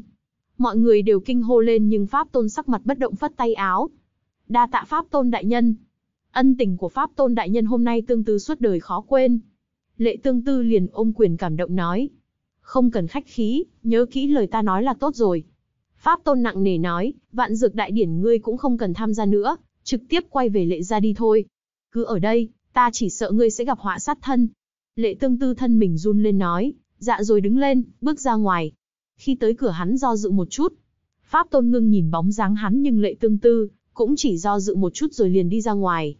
Giữa lợi ích của cửu đại gia tộc, và tương lai con cháu sinh sản vạn năm quang vinh hắn hiển nhiên lựa chọn cái sau. Pháp Tôn nhẹ nhàng thở dài một hơi. Pháp Tôn đại nhân, có muốn phái người chặn lại giết hay không? Tiêu sắt hỏi, lệ tương tư này vừa đi, từ nay về sau liền cùng chúng ta kết thành đại cửu bất cộng đái thiên. Pháp Tôn thản nhiên lắc lắc đầu nói, không cần. Hắn trầm mặc một chút rồi nói, lệ ra, còn chưa đáng coi trọng như thế. Nếu hắn không phải là cửu kiếp chi nhất thì tương lai lệ ra tự nhiên sẽ vẫn phải dựa vào chúng ta. Còn nếu thật sự là cửu kiếp chi nhất thì chúng ta cũng mượn cơ hội này dẫn ra cửu kiếp kiếm chủ chân chính cho nên, lệ tương tư không thể giết được. Mọi người bừng tinh đại ngộ. Bất quá, cửu kiếp kiếm chủ là cái lo xa mà sở dương trước mặt lại là cái ưu phiền gần. Pháp tôn lấy đầu ngón tay gõ lên mặt bàn nói, các vị, chớ có khinh thường sở dương này, hắn có năng lượng khổng lồ. Hiện tại ngay cả chấp pháp giả cũng không thể khinh thị hắn. Đúng vậy. Dạ đế nặng nề nói, Sở Dương này trước mắt mà nói chính là họa lớn tâm phúc. Chỗ, dựa sau lưng hắn quá cứng rắn, quá mạnh mẽ, phải sớm trừ đi.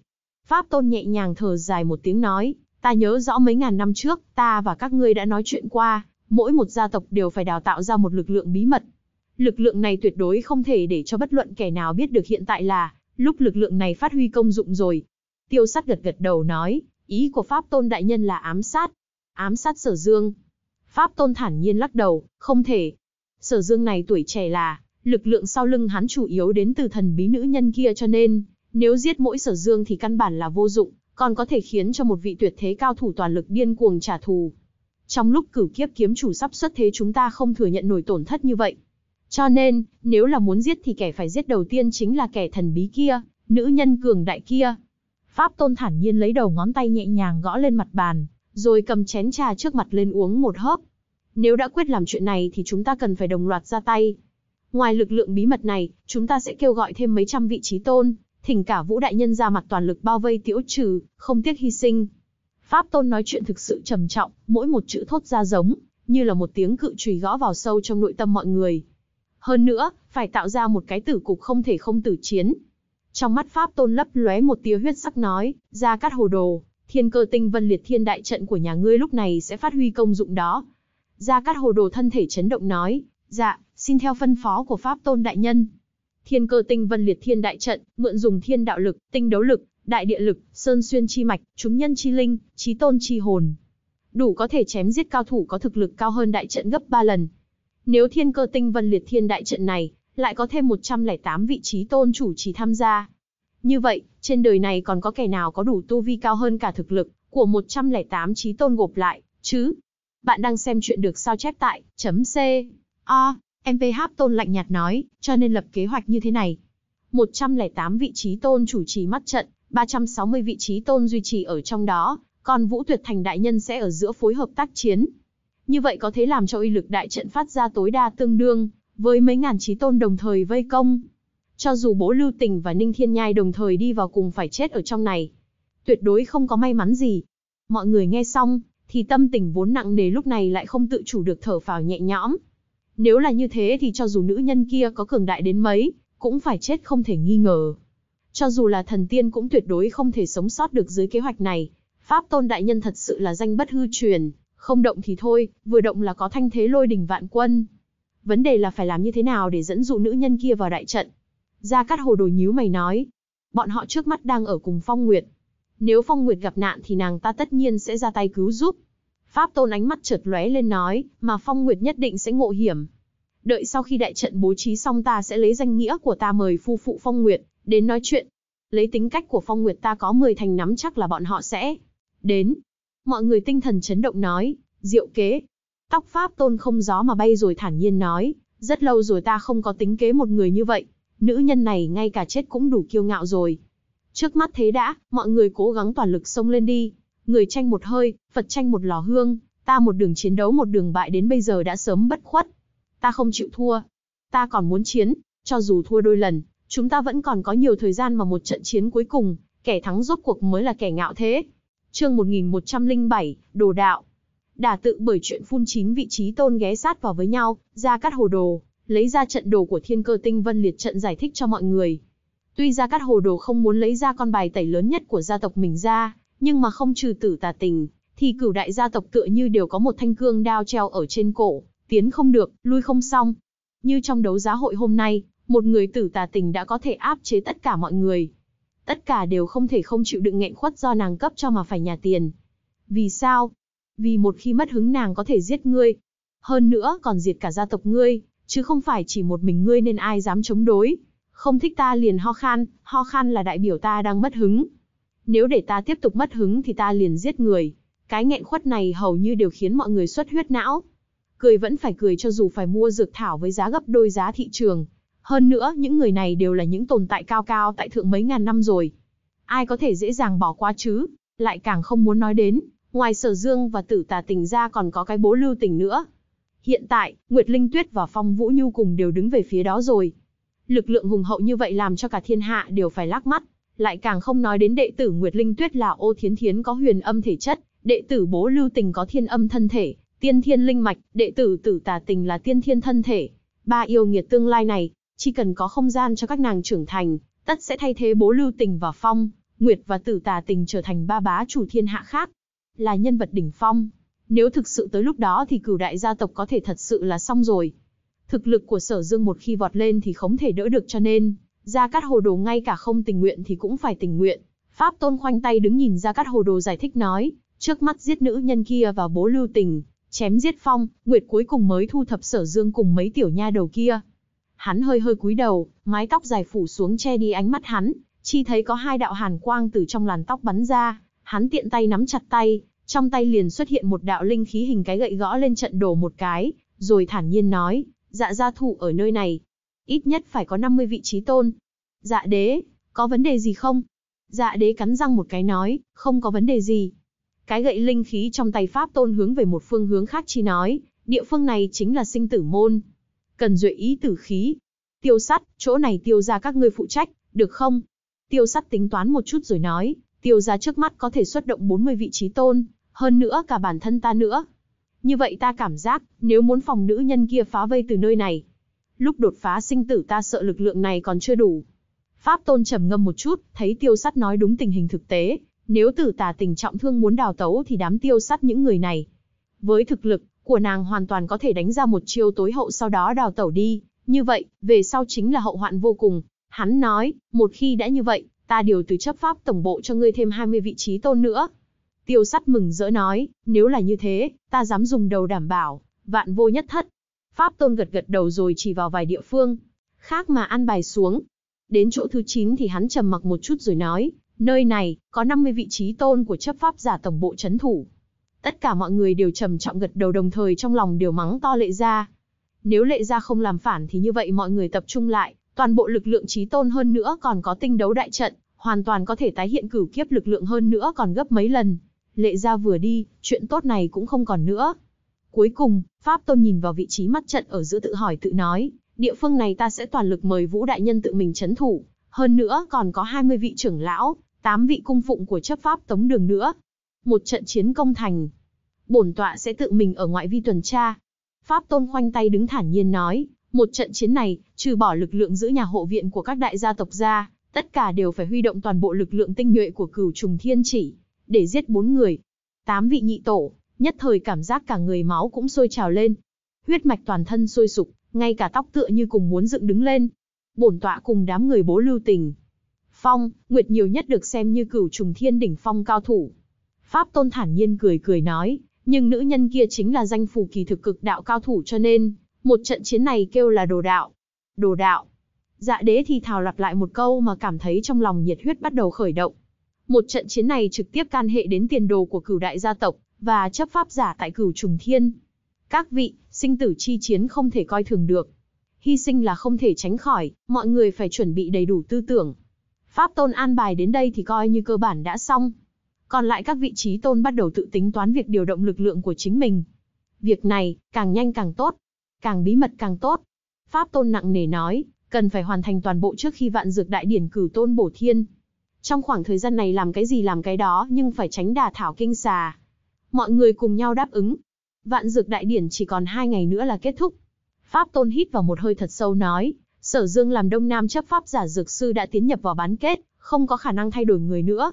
Hơn nữa, ta nghe nói, y thuật của Sở Dương xuất thần nhập hóa, chính là có được truyền thừa của linh hồn thượng cổ y thánh nên không thể khinh thường.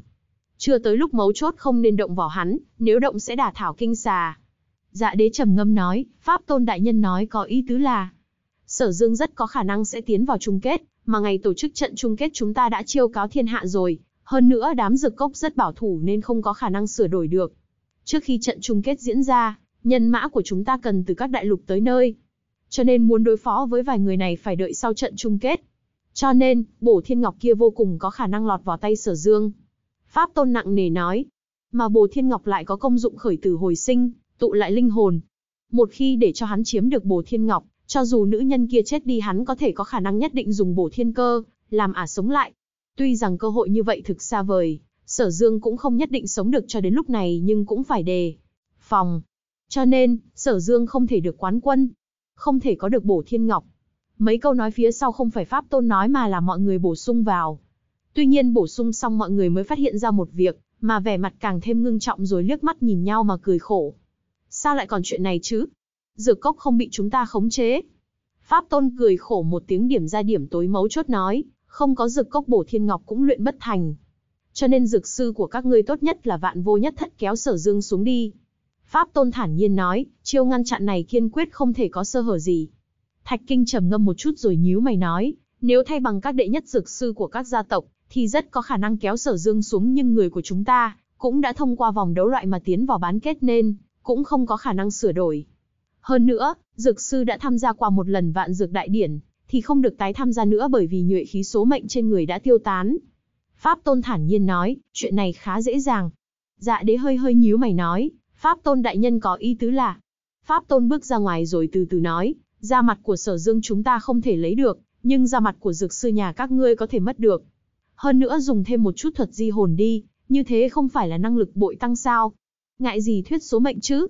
Hắn thản nhiên cười đi ra cửa đồng thời còn lưu lại một câu, chớ có nói cho ta biết là các ngươi ngay cả di hồn thuật cũng không dùng đấy nhé. Pháp tôn đi mất chỉ còn 8 người hai mặt nhìn nhau đứng ở nơi này. Biện pháp này đương nhiên là có thể làm. Lão y sư, hơn nữa, từng có kinh nghiệm tham gia vạn dược đại điển không lẽ không áp đảo nổi một người mới, như sở dương sao, căn bản không có vấn đề gì. Hơn nữa, cho dù một người không áp đảo được thì chẳng lẽ 9 người hợp lại cũng không được sao? Bọn hắn có quyền có sai lầm 8 lần, vẫn còn có một người có cơ hội còn sở dương, chỉ cần một lần sai lầm chính là xong đời. Thoạt nhìn thắng lợi đã có đến 9 thành rồi. Cơ bản có thể nói là vạn vô nhất thất nhưng vấn đề là, cứ như vậy thì các đại gia tộc đều tổn thất mất hai gã dược sư vĩ đại nhất, từ trên mặt người sống lột ra tấm da mặt làm thành công cụ, lại dùng tu vi trí tôn để cao có thể ở, trong khoảng thời gian ngắn thay hình đổi dạng, ít nhất là trong vòng nửa năm có thể bảo trì được sinh cơ. Nửa năm sau da mặt mất đi hiệu lực bắt đầu nhăn nhúm lại thì việc này, cơ bản đã trôi qua.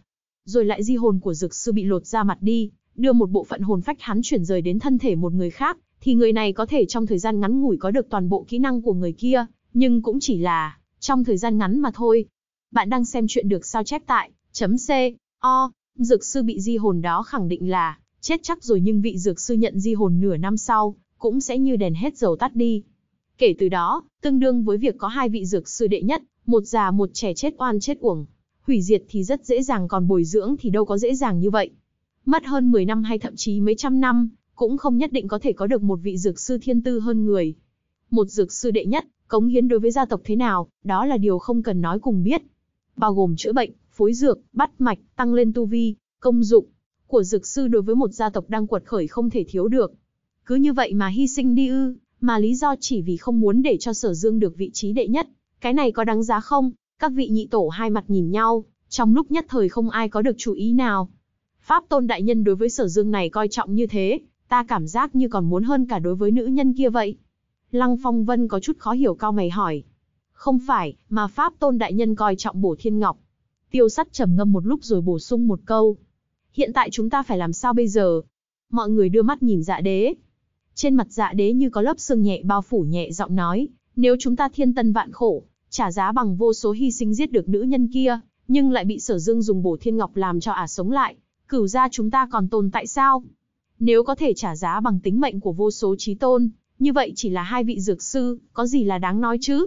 Chương 1108, cửu cửu tề tụ, trị thương. Tin tức kế tiếp lại càng khiến cho cửu đại thế gia hạ quyết tâm. Bố Lưu Tình cùng Phong Nguyệt mang theo đồ đệ, tiến vào lăng hương viên. Tin tức này, quả thực là kinh người. Đồng vô thương cùng nhuế bất thông ba người cũng tiến vào lăng hương viên, nhưng khi đó, mọi người hiển nhiên không thể nào quan tâm tới ba người bọn họ được. Bọn họ quan tâm chính là bố lưu tình và phong nguyệt. Các đại thế gia nhanh chóng hành động rồi. Bọn họ cảm giác được nguy cơ đang từng bước từng bước tới gần. Về phần lệ gia, chẳng lẽ cứ để mặc bọn hắn rời đi? Thạch Kinh lại đưa ra một câu hỏi. Các vị nhị tổ đều nhíu mày, không nói gì. Chúng ta đều không ở nhà, mà người của lệ gia, có lệ tương tư, ngăn không được. Tiêu sắt thản nhiên nói. Trong mắt Lăng Phong Vân chợt lóe lên hàn quang, nói, truyền tin chặn giết dọc đường thì thế nào? Có thể giết được kẻ nào thì hay kẻ đó. Dù sao dưới tình huống như vậy, lệ tương tư cũng không dám trả thù. Thạch Kinh là người đầu tiên đồng ý. Lệ gia đương nhiên không dám trả thù, dọc đường chính là địa bàn các đại gia tộc. Các đại gia tộc vẫn còn đệ nhất lão tổ tông tọa chấn ở nhà, thật sự kinh động, chọc giận bọn họ, Lệ tương tư chính là hữu tử vô sinh. Dạ đế trầm ngâm một chút, nói, cũng được, lập tức đưa tin cho các đại gia tộc, tổ chức nhân thủ tinh nhuệ, chặn giết người của lệ gia dọc đường, không cầu chém tận giết tuyệt, nhưng ta muốn lệ tương tư phải cô cô độc độc, giống như một con chó chạy về tới lệ gia. Được. Vào đêm hôm lệ gia rời khỏi thiên cơ thành. Trong một khắc khi ra khỏi cửa thành, lệ tương tư xoay người lại, nhìn về phía thiên cơ thành, trầm tư thật lâu. Đi chuyến này, vốn là cửu đại gia tộc liên thủ tương liên, nhưng từ nay về sau lại trở thành mặt thành thù rồi. Lệ tương tư im lặng hồi lâu, ống tay áo phất phơ theo gió, không ngờ lại toát lên một vẻ cô đơn tịch mịch không nói nên lời. Tu vi của ta, đã đạt tới cực hạn rồi. Ta có thể sống không tới một vạn năm nữa, nhưng hậu thế lệ gia của ta, cần có một vạn năm này. Cho nên, các lão huynh đệ, xin lỗi. Lệ tương tư hướng về phía thiên cơ thành mà khom lưng, vái chào một cái thật sâu. Lão tổ tông, chuyện này, chúng ta có cần thông chi cho đám sở dương một chút không? Vị trí tôn thất phẩm bên người hỏi. Quên đi. Lệ tương tư trầm ngâm chốc lát rồi nói, sở dương dù sao cũng không phải là cửu kiếp kiếm chủ. Một khi đánh nhau, bất kể kế hoạch có thành công hay không, đều là lưỡng bại câu thương, đối với cửu kiếp kiếm chủ và cửu kiếp cũng cực kỳ có lợi. Nếu thực lực sở dương trưởng thành lên, tuyệt đối là kình địch của cửu kiếp kiếm chủ cùng cửu kiếp, vẫn sớm tiêu diệt thì tốt hơn. Lệ tương tư vung tay, mang theo nhân mã rời đi như bay. Mau ly khai, càng sớm trở lại địa bàn lệ gia chúng ta càng tốt. Sắc mặt lệ tương tư trầm trọng, nhìn bóng đêm mờ mịt nói, đoạn đường này tuyệt đối không yên à, tuy Pháp Tôn đã nói thả chúng ta trở về, nhưng ta làm bạn với những người này mấy ngàn năm, làm sao có thể không biết bọn họ. Bọn họ nhất định sẽ không dễ dàng thả chúng ta rời đi đâu. Ngàn dặm quan ải này, nhất định là một con đường tinh phong huyết vũ. Một đội nhân mã lao đi lợi tiễn rời cung, nhanh chóng biến mất vào trong bóng đêm mờ mịt. Sở Dương cũng không hề ngừng nghỉ chút nào, ngay trong đêm hôm đó, đã bắt đầu luyện thuốc, luyện chế cửu trọng đan bản không hoàn chỉnh để Sở Nhạc Nhi khôi phục thân thể. Kiếm Linh đang trong thời khắc bế quan quan trọng, cũng bị hắn lôi ra làm việc. Cửu Cửu hiện tại đã tề tụ rồi. Cửu Tuyệt Đằng, Cửu Sắc Liên, Cửu Tử Vô Sinh Thủy, Cửu Diệp Nhất Chi Hoa, Cửu Biện Ngọc Linh Chi, Cửu Mệnh Xuyên Sơn Giáp, Cửu Địa Âm Hồn Sâm, Cửu Thiên Ngọc Linh Lịch, còn có tài liệu Cửu Trọng Đan. Tập hợp đầy đủ. Còn có Huyền Âm Phần Cốt Thủy, Hắc Huyết Độc Tâm Đằng và Độc Đan Độc Long, còn có một khối Thiên Độc Ngọc Tâm, độc đan của nhân diện thải hồng chi chu. Kiếm Linh có chút hưng phấn nói, giờ tài liệu đã có đủ hết, trừ phi không làm, đã làm ta là muốn làm thật lớn, khiến Nhạc Nhi vừa xuất thế, liền chấn kinh thiên hạ. Sở Dương nhếch miệng, không hại gì thân thể chứ. Kiếm Linh cực kỳ tức giận nói, ta là loại người đó sao? Sở Dương không thèm để ý tới hắn, thối lui ra khỏi cửu kiếp kiếm chủ, để Kiếm Linh tắt tiếng một mình bên trong. Sau đó Sở Dương cầm hai cái bình tử tinh thật lớn, tiến vào phòng Mạc Khinh Vũ. Bố Lưu Tỉnh đang giám sát đồ đệ tu luyện, vừa nhìn thấy Sở Dương tiến vào, không khỏi cảnh giác nói, ngươi tới làm gì? Sở Dương tắt tiếng, chỗ của ta, vì sao ta không thể tới? Vuốt vuốt mũi, nói, ta tới đưa cho Tiểu Vũ một chút đồ uống. Bố Lưu Tình hoài nghi, nói, cái gì vậy? Không phải hạ độc chứ? Sở Dương nghiến răng nghiến lợi nhìn bố Lưu Tình, cả giận nói, nếu không phải đánh không lại ngươi, ta đã táng thẳng một quyền vào mặt ngươi rồi. Bố Lưu Tình cười ha ha, tiếp lấy hai cái bình. Vừa mới tiếp lấy liền đột nhiên chấn động, cái mũi hít mạnh mấy hơi, thậm chí còn kêu thành tiếng. Tiếp đó lại càng dí sát mũi vào, hít thật sâu mấy hơi, đột nhiên ngẩng đầu, sinh linh tuyển thủy. Sở Dương hừ một tiếng, khoanh tay nhìn vị đại trí tôn này, nói, hừ hừ, thích không? Đáng tiếc không phải cho ngươi, là cho khinh vũ. Bố lưu tình trợn trắng mắt, nói, cho tiểu vũ tốt hơn cho ta. Cái bình kia là gì? lại cầm lấy hít hít, chỉ cảm thấy sống mũi lạnh lẽo, không khỏi lại chấn động. Huyền âm phần cốt thủy, ngẩng đầu nhìn Sở Dương, không tin tưởng nói, ngươi kiếm đâu ra nhiều thứ tốt như vậy. Sở Dương ung dung nói, có muốn không? Muốn. Bố lưu tình ôm chặt vào trong lòng. Hừ. Sở Dương vênh vó tự đắc xoay người mà đi. Mạc Khinh Vũ đang nhập định bên trong, Sở Dương cũng không muốn quấy nhiễu nàng. Hắn biết, Mạc Khinh Vũ rất muốn nói chuyện với mình, thậm chí còn hơn xa hứng thú đối với luyện công nhưng làm vậy thì chẳng khác nào mình hại nàng. Hiện giờ thượng tam thiên tràn ngập nguy cơ, thực lực mạc khinh vũ càng cao càng tốt. Bi kịch kiếp trước, sở dương tuyệt đối không cho phép tái diễn. Có hai bình lớn sinh linh tuyển thủy và huyền âm phần cốt thủy này, dưới sự trợ giúp của bố lưu tình, thể chất và tu vi mạc khinh vũ, cùng với mức độ thần hồn ngưng thực, đều sẽ tiến thêm một bước thật dài. Sở Dương cũng mang theo hai chiếc bình tương tự, đi tới phòng của Phong Nguyệt, đưa cho Ô Thiến Thiến. Phu phụ Phong Nguyệt đều rất kinh ngạc, Loại đồ tốt này, thường nhân có thể uống được một ngụm cũng là thiên đại phúc duyên rồi. Sở Dương không ngờ lại đem tặng hai bình lớn như vậy. Phải biết rằng, một chiếc bình ít nhất cũng phải nặng 4-5 cân. Nhất là ánh mắt Phong Vũ Nhu nhìn Sở Dương lại có chút quái dị, muốn nói gì đó, nhưng cuối cùng vẫn thở dài, không nói ra. Vẻ mặt Nguyệt Linh Tuyết cũng có chút kỳ quái. Sở Dương lần lượt tặng thêm cho ba người đồng vô thương, Nhuế Bất Thông và Mặc Lệ Nhi. Bảo bọn họ tu luyện. Đang chuẩn bị về phòng mình thì bị tử tà tình gọi lại. Tử tà tình biết Sở Dương đang chế thuốc, cho nên đang củng cố cho Sở Nhạc Nhi một bước cuối cùng. Ngươi có sinh linh tuyển thủy. Thăng cấp rồi. Đôi mắt tử tà tình ngưng trọng nhìn Sở Dương. Ừ. Không tệ, xem ra cho ngươi giải quyết vấn đề của Phong Nguyệt là tìm đúng người rồi.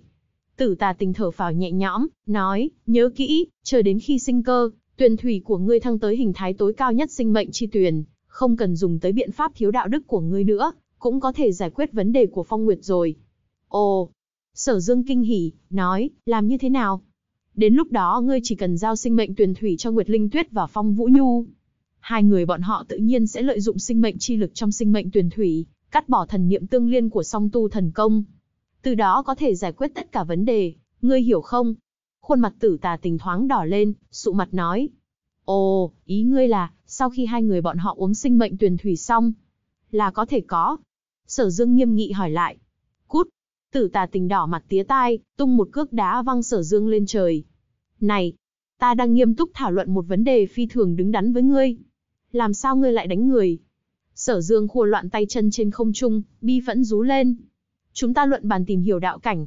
Tử tà tình mặt phấn đỏ bừng, thẹn quá hóa giận nói. Ôi chao, ta đột nhiên đau bụng, đi nhà cầu đây. Trong khoảng thời gian này sở dương phi thường tiến bộ, vừa nghe thấy tử tà tình nói xong, thân thể đang rơi thẳng tắp từ trên không trong xuống đột nhiên như cá chép quẫy nước, không ngờ sư một tiếng đã đổi phương hướng, biến mất không thấy tăm hơi. Thật hỗn đản. Tử tà tình thì thào mắng, đột nhiên nhớ tới một chuyện, sở dương, chị thương cho sở nhạc nhi, ta phải đích thân làm. Ta không yên tâm với mấy món võ mèo cào của các ngươi. Trong không gian, kiếm linh hung hăng mắng hai tiếng. Tuổi ca ca còn lớn hơn cả ngươi, chẳng qua trước mắt còn chưa khôi phục hoàn toàn thôi, không ngờ trong mắt ngươi đã biến thành mấy món võ mèo cào rồi. Ngay trong đêm hôm đó, tử tà tình mang theo sở nhạc nhi tiến vào trong sở dương, ép sở dương nôn ra không ít tử tinh, nung chảy hóa thành một cái thùng tử tinh lớn, ước chừng còn cao hơn một người. Cửu cửu tề tụ rồi. Tử tà tình hỏi. Sở dương gật đầu, không những thế, còn có sinh linh tuyền, độc đan của độc long giao, độc đan của vạn độc chi nguyên nhân diện thải hồng chi chu, còn có hắc huyết độc tâm đằng, huyền âm phần cốt thủy, còn có thiên độc ngọc tâm. Tài liệu thật không ít, Tử tà tình thở phào một hơi, bắt đầu đi. Ta bảo vệ thần hồn cho nhạc nhi, tận lực không để thiên địa chi độc trong cơ thể nàng lãng phí. Bây giờ lấy huyền âm phần cốt thủy ra, đổ đầy thùng. Tử tà tình chỉ huy, sở dương đem huyền âm phần cốt thủy rót ảo ảo vào trong cái thùng tử tinh. Tử tà tình kéo sở nhạc nhi tới, soạt soạt mấy cái đã lột sạch đồ trên người tiểu nha đầu, chỉ còn lại một cái yếm. Sở nhạc nhi cực kỳ xấu hổ, kinh hô một tiếng, đừng cho đại ca nhìn, chưa kịp nói xong đã bị tử tà tình nói vào trong huyền âm phần cốt thủy, tiếp đó khẽ run lên, cắn răng, không ngờ không nói một câu nào nữa. Sở dương bên cạnh giờ khóc giờ cười. Tiểu nha đầu này, đến lúc này rồi còn chú ý cái này. Thật không biết nữ hài tử bình thường nghĩ cái gì nữa. Ra đi kiếm linh. Tử tà tỉnh quát. Một tiếng. Không trung chợt rung động, một thân ảnh hư ảo có chút ngưng thực đã xuất hiện trong phòng. Kiếm linh kỳ quái nói, ngươi làm sao lại biết ta có thể ngưng hình hiện thân? Tử tà tình hừ lạnh một tiếng, bớt nói nhảm đi. Ta bảo vệ thần hồn và kinh mạch cho nhạc nhi, ngươi bảo vệ ý thức không gian. Hai người chúng ta chính là một thiên đạo chi lực, một là u minh chi lực, hợp lại có thể trực tiếp tạo nên một cái luân hồi không gian cho nhạc nhi. Cẩn thận một chút, nếu như có chút sai lầm, ta sẽ đánh ngươi thành cửu kiếp, đem đi bổ thiên. Kiếm linh sợ run cả người, đồng tình nhìn sở dương một cái. Nữ nhân thật hung hãn, ngày nào cũng phải đối mặt, thật làm khó ngươi rồi. Bắt đầu đi, Sở Dương, cho Nhạc Nhi dùng thuốc. Tử tà tỉnh quát một tiếng. Chương 1109, khỏi bệnh. Thân ảnh kiếm linh hư huyễn, giống như một đám sương mù, dung nhập vào trong cơ thể Sở Nhạc Nhi. Tử tà tình đặt một tay lên đầu Sở Nhạc Nhi, một kia lại để trong chiếc thùng tử tinh, không ngừng đưa âm hàn chi lực vào.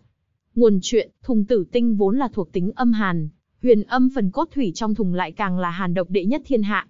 Mà tử tà tình lại đưa vào cỗ lực lượng âm hàn này, từ bản chất âm hàn mà nói, nếu so với huyền âm phần cốt thủy còn muốn âm hàn hơn mấy phần.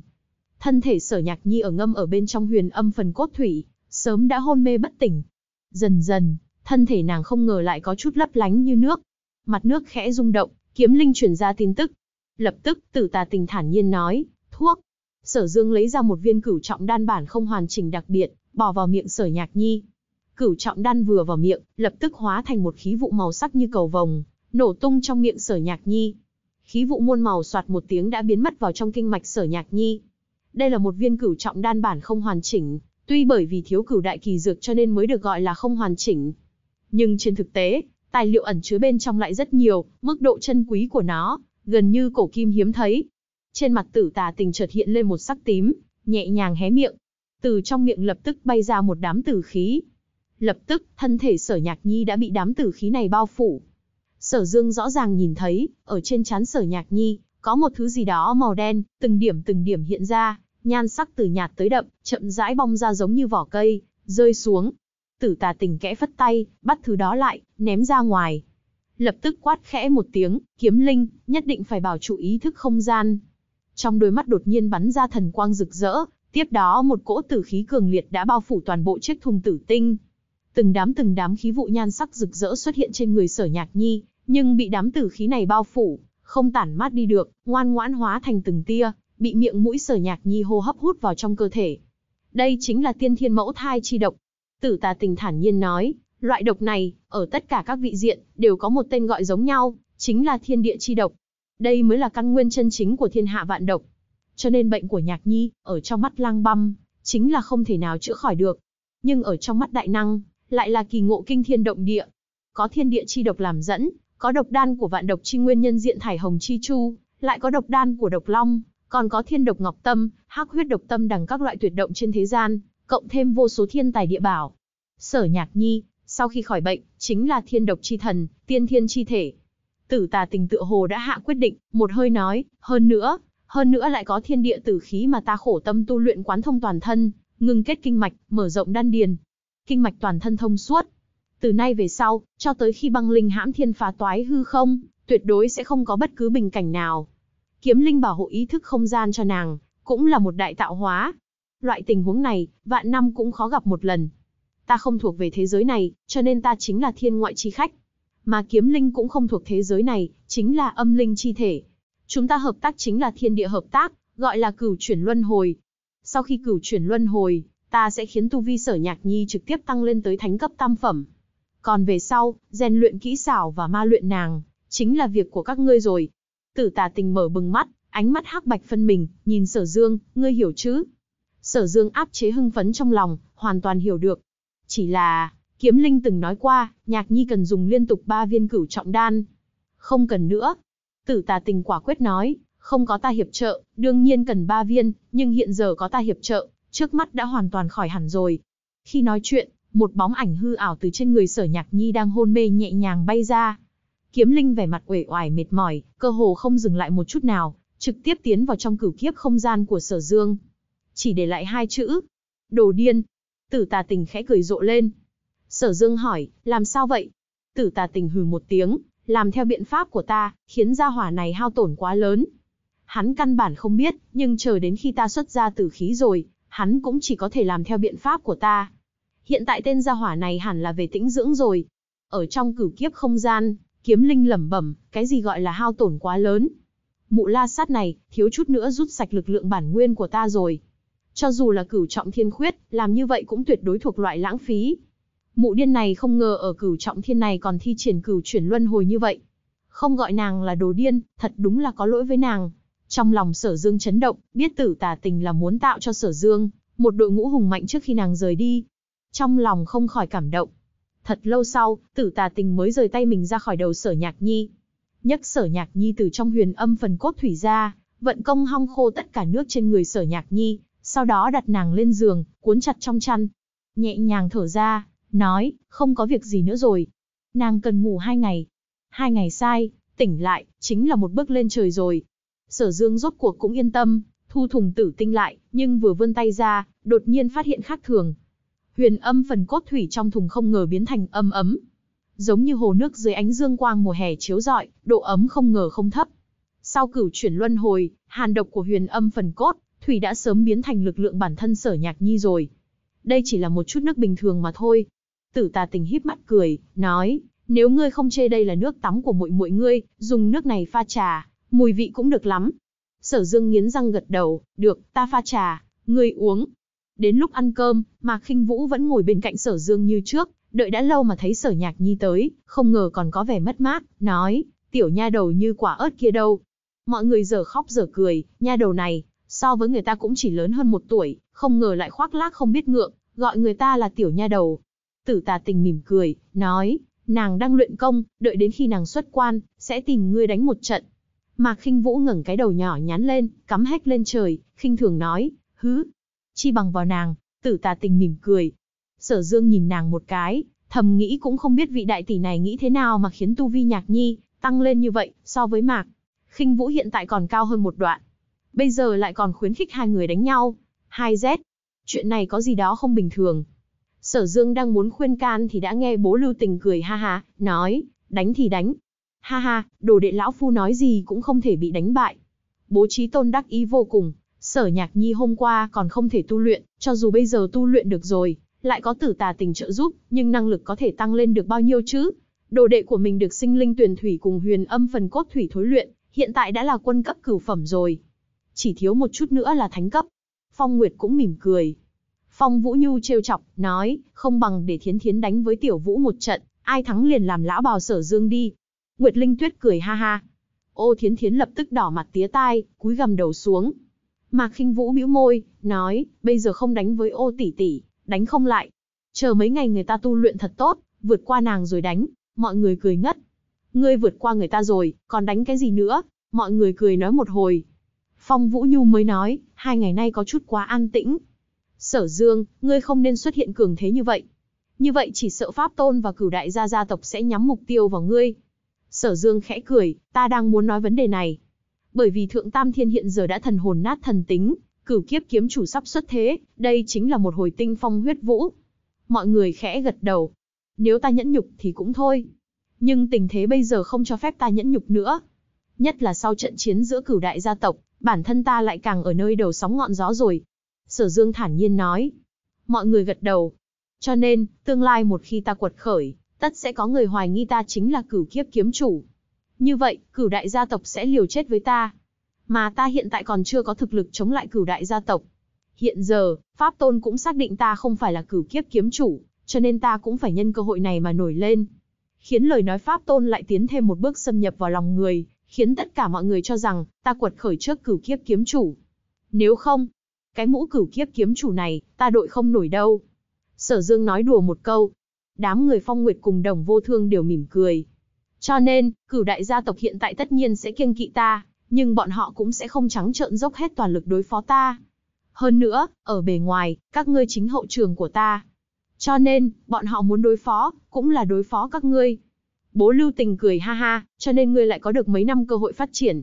Mà bọn họ nếu muốn đối phó chúng ta, Ha ha, không phải lão phu nói ngoa, trên đời này, thật sự không một thế lực nào có thể một lượt bắt hết mấy người chúng ta. Phải biết rằng những người như chúng ta, chỉ cần không thể một kích chí mạng, cho dù chạy thoát được một người, cũng tuyệt đối là ác mộng của cửu đại gia tộc cùng chấp pháp giả. Phong Nguyệt cũng mỉm cười. Bố Lưu Tình nói như thế, chính là vô cùng chân thật. Với thực lực của nhóm người mình, cho dù bị vây công, đánh không lại cũng có thể đào tẩu dễ dàng. Tử tà tình khẽ cười, thần sắc vô cùng tự tin hiển nhiên trăm phần trăm tán thành ý nghĩ của bố Lưu Tình, cùng Phong Nguyệt. Ở trên đời này, có thể thương tổn tới nhóm người mình. Tuyệt đối không có. Đối. Với ý nghĩ này, Sở Dương cũng tán thành, nhưng trong lòng ẩn ước vẫn có một lo lắng. Mặc dù sự thật là như thế, nhưng tự tin quá đáng, nhất định phải sẽ chịu thiệt. Hắn còn chưa kịp cân nhắc thì tin tức vạn dược đại điển đã truyền tới. Ba ngày sau, vòng đấu bán kết bắt đầu. Chương 1110, Lâm Trung Nhật, Nắm thông báo trong tay, sở dương dở khóc dở cười. Thương thế của sở nhạc nhi đã khỏi hẳn rồi. Mà mục đích hắn tham gia vạn dược đại điển chính là để chữa thương cho sở nhạc nhi. Hiện tại có tham gia cũng chẳng để làm gì nữa, nhưng đã không thể thối lui nữa rồi, đành đâm lao phải theo lao. Bổ thiên ngọc chính là đồ tốt. Bố lưu tình nhìn thấy hắn do dự nói, người nhất định phải lấy được bổ thiên ngọc.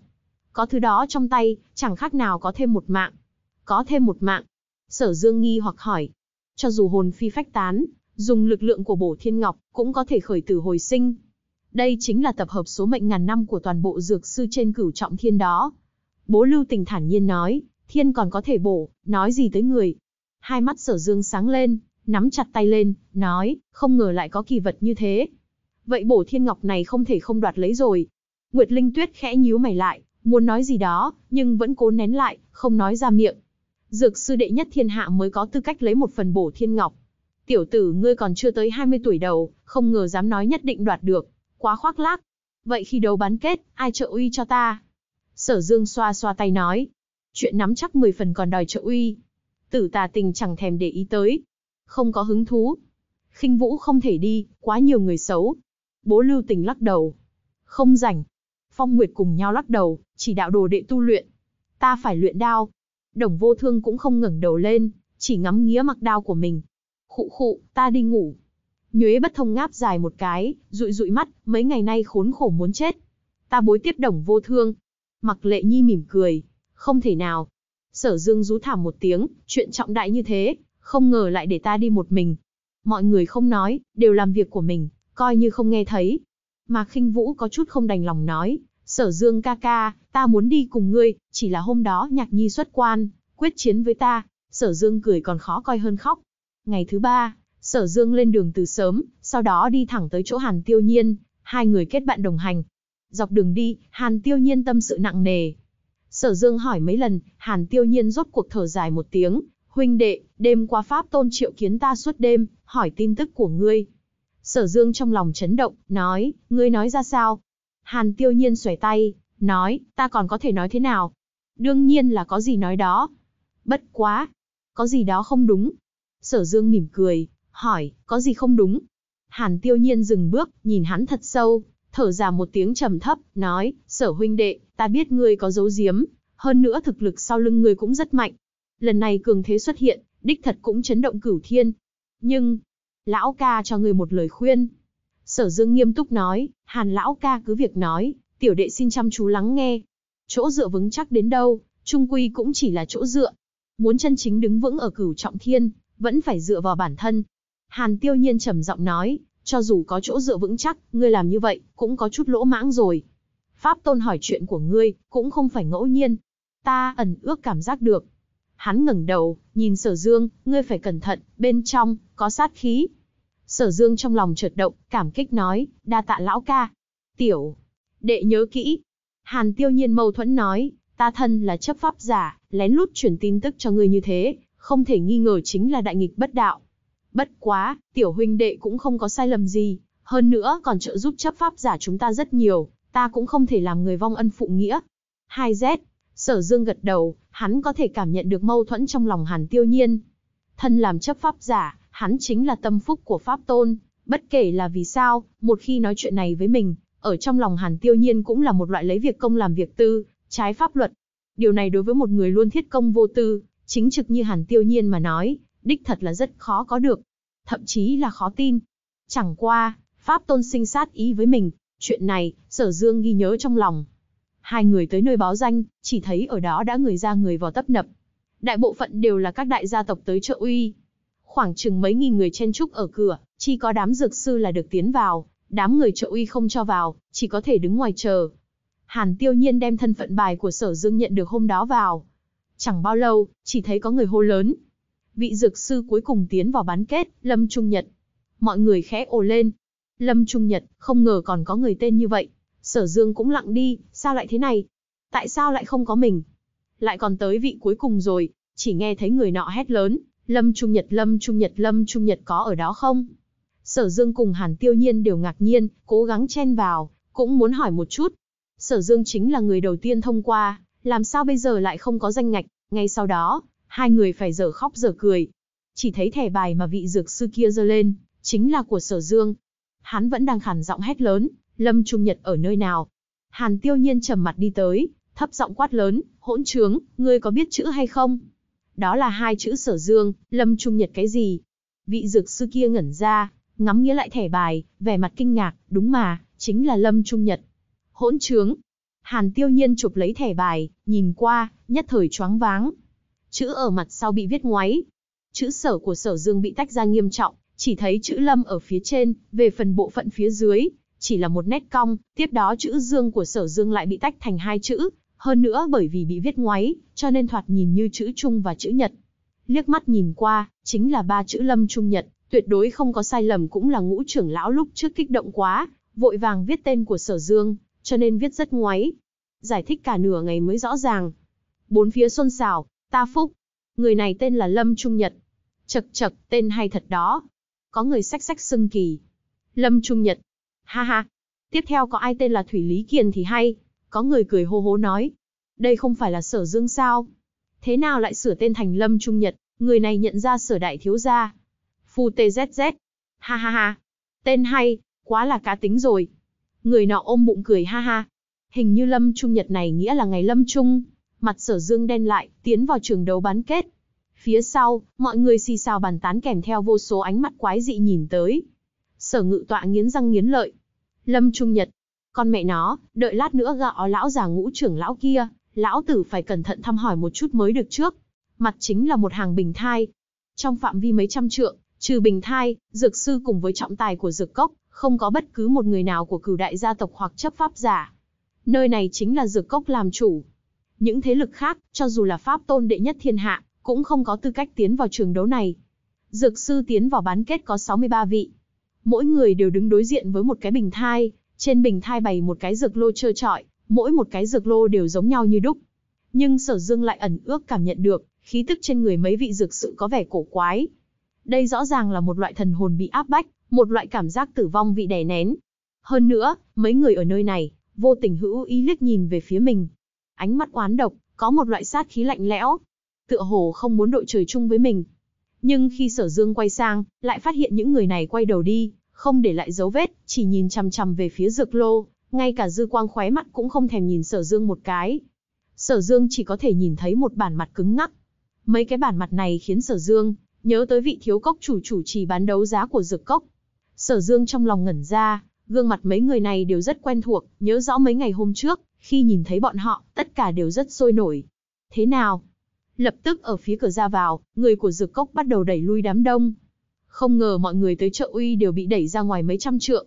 Trong khoảng cách như vậy, đừng nói tới chợ uy áp trận gì gì, người tu vi kém, căn bản chẳng nhìn thấy cái gì chứ đừng nói là nhìn ra dược sư của phe mình. Lập tức có không ít cao thủ của dược cốc, bao vây bốn phương tám hướng nơi này lại. Phòng hộ vạn dược đại điển lần này, không ngờ lại được dược cốc chuẩn bị xâm nghiêm như thế. Tiếp đó, một bóng trắng chợt nhoáng lên trước mặt đám người sở dương, ba bạch y nhân xuất hiện. Một người trong đó đang cầm một chồng thẻ bài. Chính là vị thiếu cốc chủ mặt cương thi kia. Chỉ nghe hắn nói, chư vị dược sư, tại hạ là dược cốc dược phương, hai vị ở bên cạnh ta, một người chính là đại cung phụng của dược cốc chúng ta, người còn lại là nhị cung phụng của dược cốc. Ba người chúng ta sẽ làm trọng tài cuộc đấu bán kết hôm nay. Các vị dược sư đều có chút xôn xao. Đại cung phụng, nhị cung phụng. Hai người này, năm đó đều từng đoạt được ngôi vị đệ nhất thiên hạ dược sư. Chỉ là nhân vật như vậy mà lại đích thân tới làm trọng tài, thật sự là khiến mọi người có chút được sủng mà kinh. Hai mắt sở dương cũng sáng ngời.